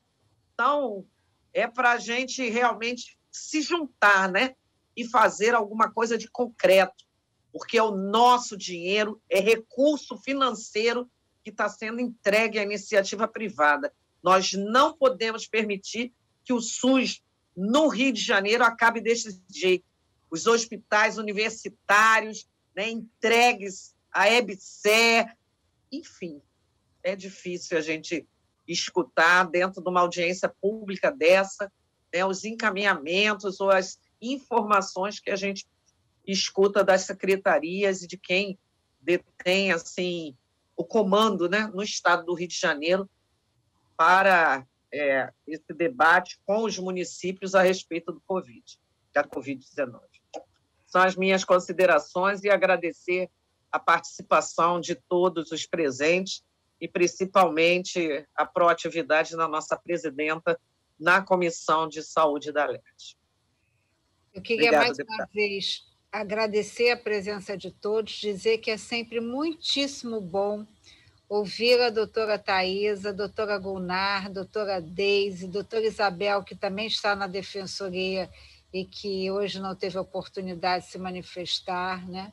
dizer que o olhar atento do deputado Rubem Bom Tempo e da deputada Rejane nos, nos conduz sempre a olhar, né, a não se perder na, entre as árvores, né, olhar a magnitude desse problema. Agradecer ao doutor Mário Sérgio, que é uma pessoa que agora está à frente da vigilância sanitária, cobrar, doutor Mário Sérgio, a questão da tuberculose. Né? Nós temos ainda que solucionar aquele projeto aqui da presidência que é, separou um investimento, e eu queria poder dizer doutora Gunnar, que essa fosse a nossa última audiência para tratar dos problemas da Covid-19, ou doutora Deise, da imunização. Mas a gente sabe que, lamentavelmente, isso não vai acontecer, sobretudo que há um, uma deliberação né, de desestruturar o sistema único de saúde, de desvalorizar a ciência, de não dar atenção a, as questões prioritárias, então, eu, de valorizar a economia como se pudesse haver economia sem vida. E esse não é o papel desta comissão. Essa comissão é uma comissão que valoriza a ciência, que a todo tempo quer ser instrumento de fortalecimento do Sistema Único de Saúde. Então, que a gente renove hoje, olhando para as dificuldades que ainda virão, o nosso compromisso de fortalecer o Sistema Único de Saúde, o nosso compromisso, doutor Mário, de ser aqui também uma frente de resistência dessa secretaria. É muito grave estarmos no quinto secretário. Isso não pode ser desconsiderado por nós. Isso é extremamente grave. Eu não estou fazendo nenhum juízo de valor da, da capacidade do, daqueles que passaram por aqui, mas isso, isso sinaliza que a saúde não está sendo vista como um projeto de Estado, e sim numa solução de problemas, numa estratégia de governo. Então, eu quero agradecer, estou vendo o doutor Flávio, que ainda está aqui conosco, agradecer a presença de todos e dizer que, por certo, vamos estar juntos e juntas mais uma vez para fortalecer a saúde pública, que é esse o nosso papel e é o compromisso dessa comissão. Muito obrigada a todas, a todos que nos acompanharam pela TV Alerge. Declaro encerrada a presente reunião. Um abraço a todas e todos. Obrigada.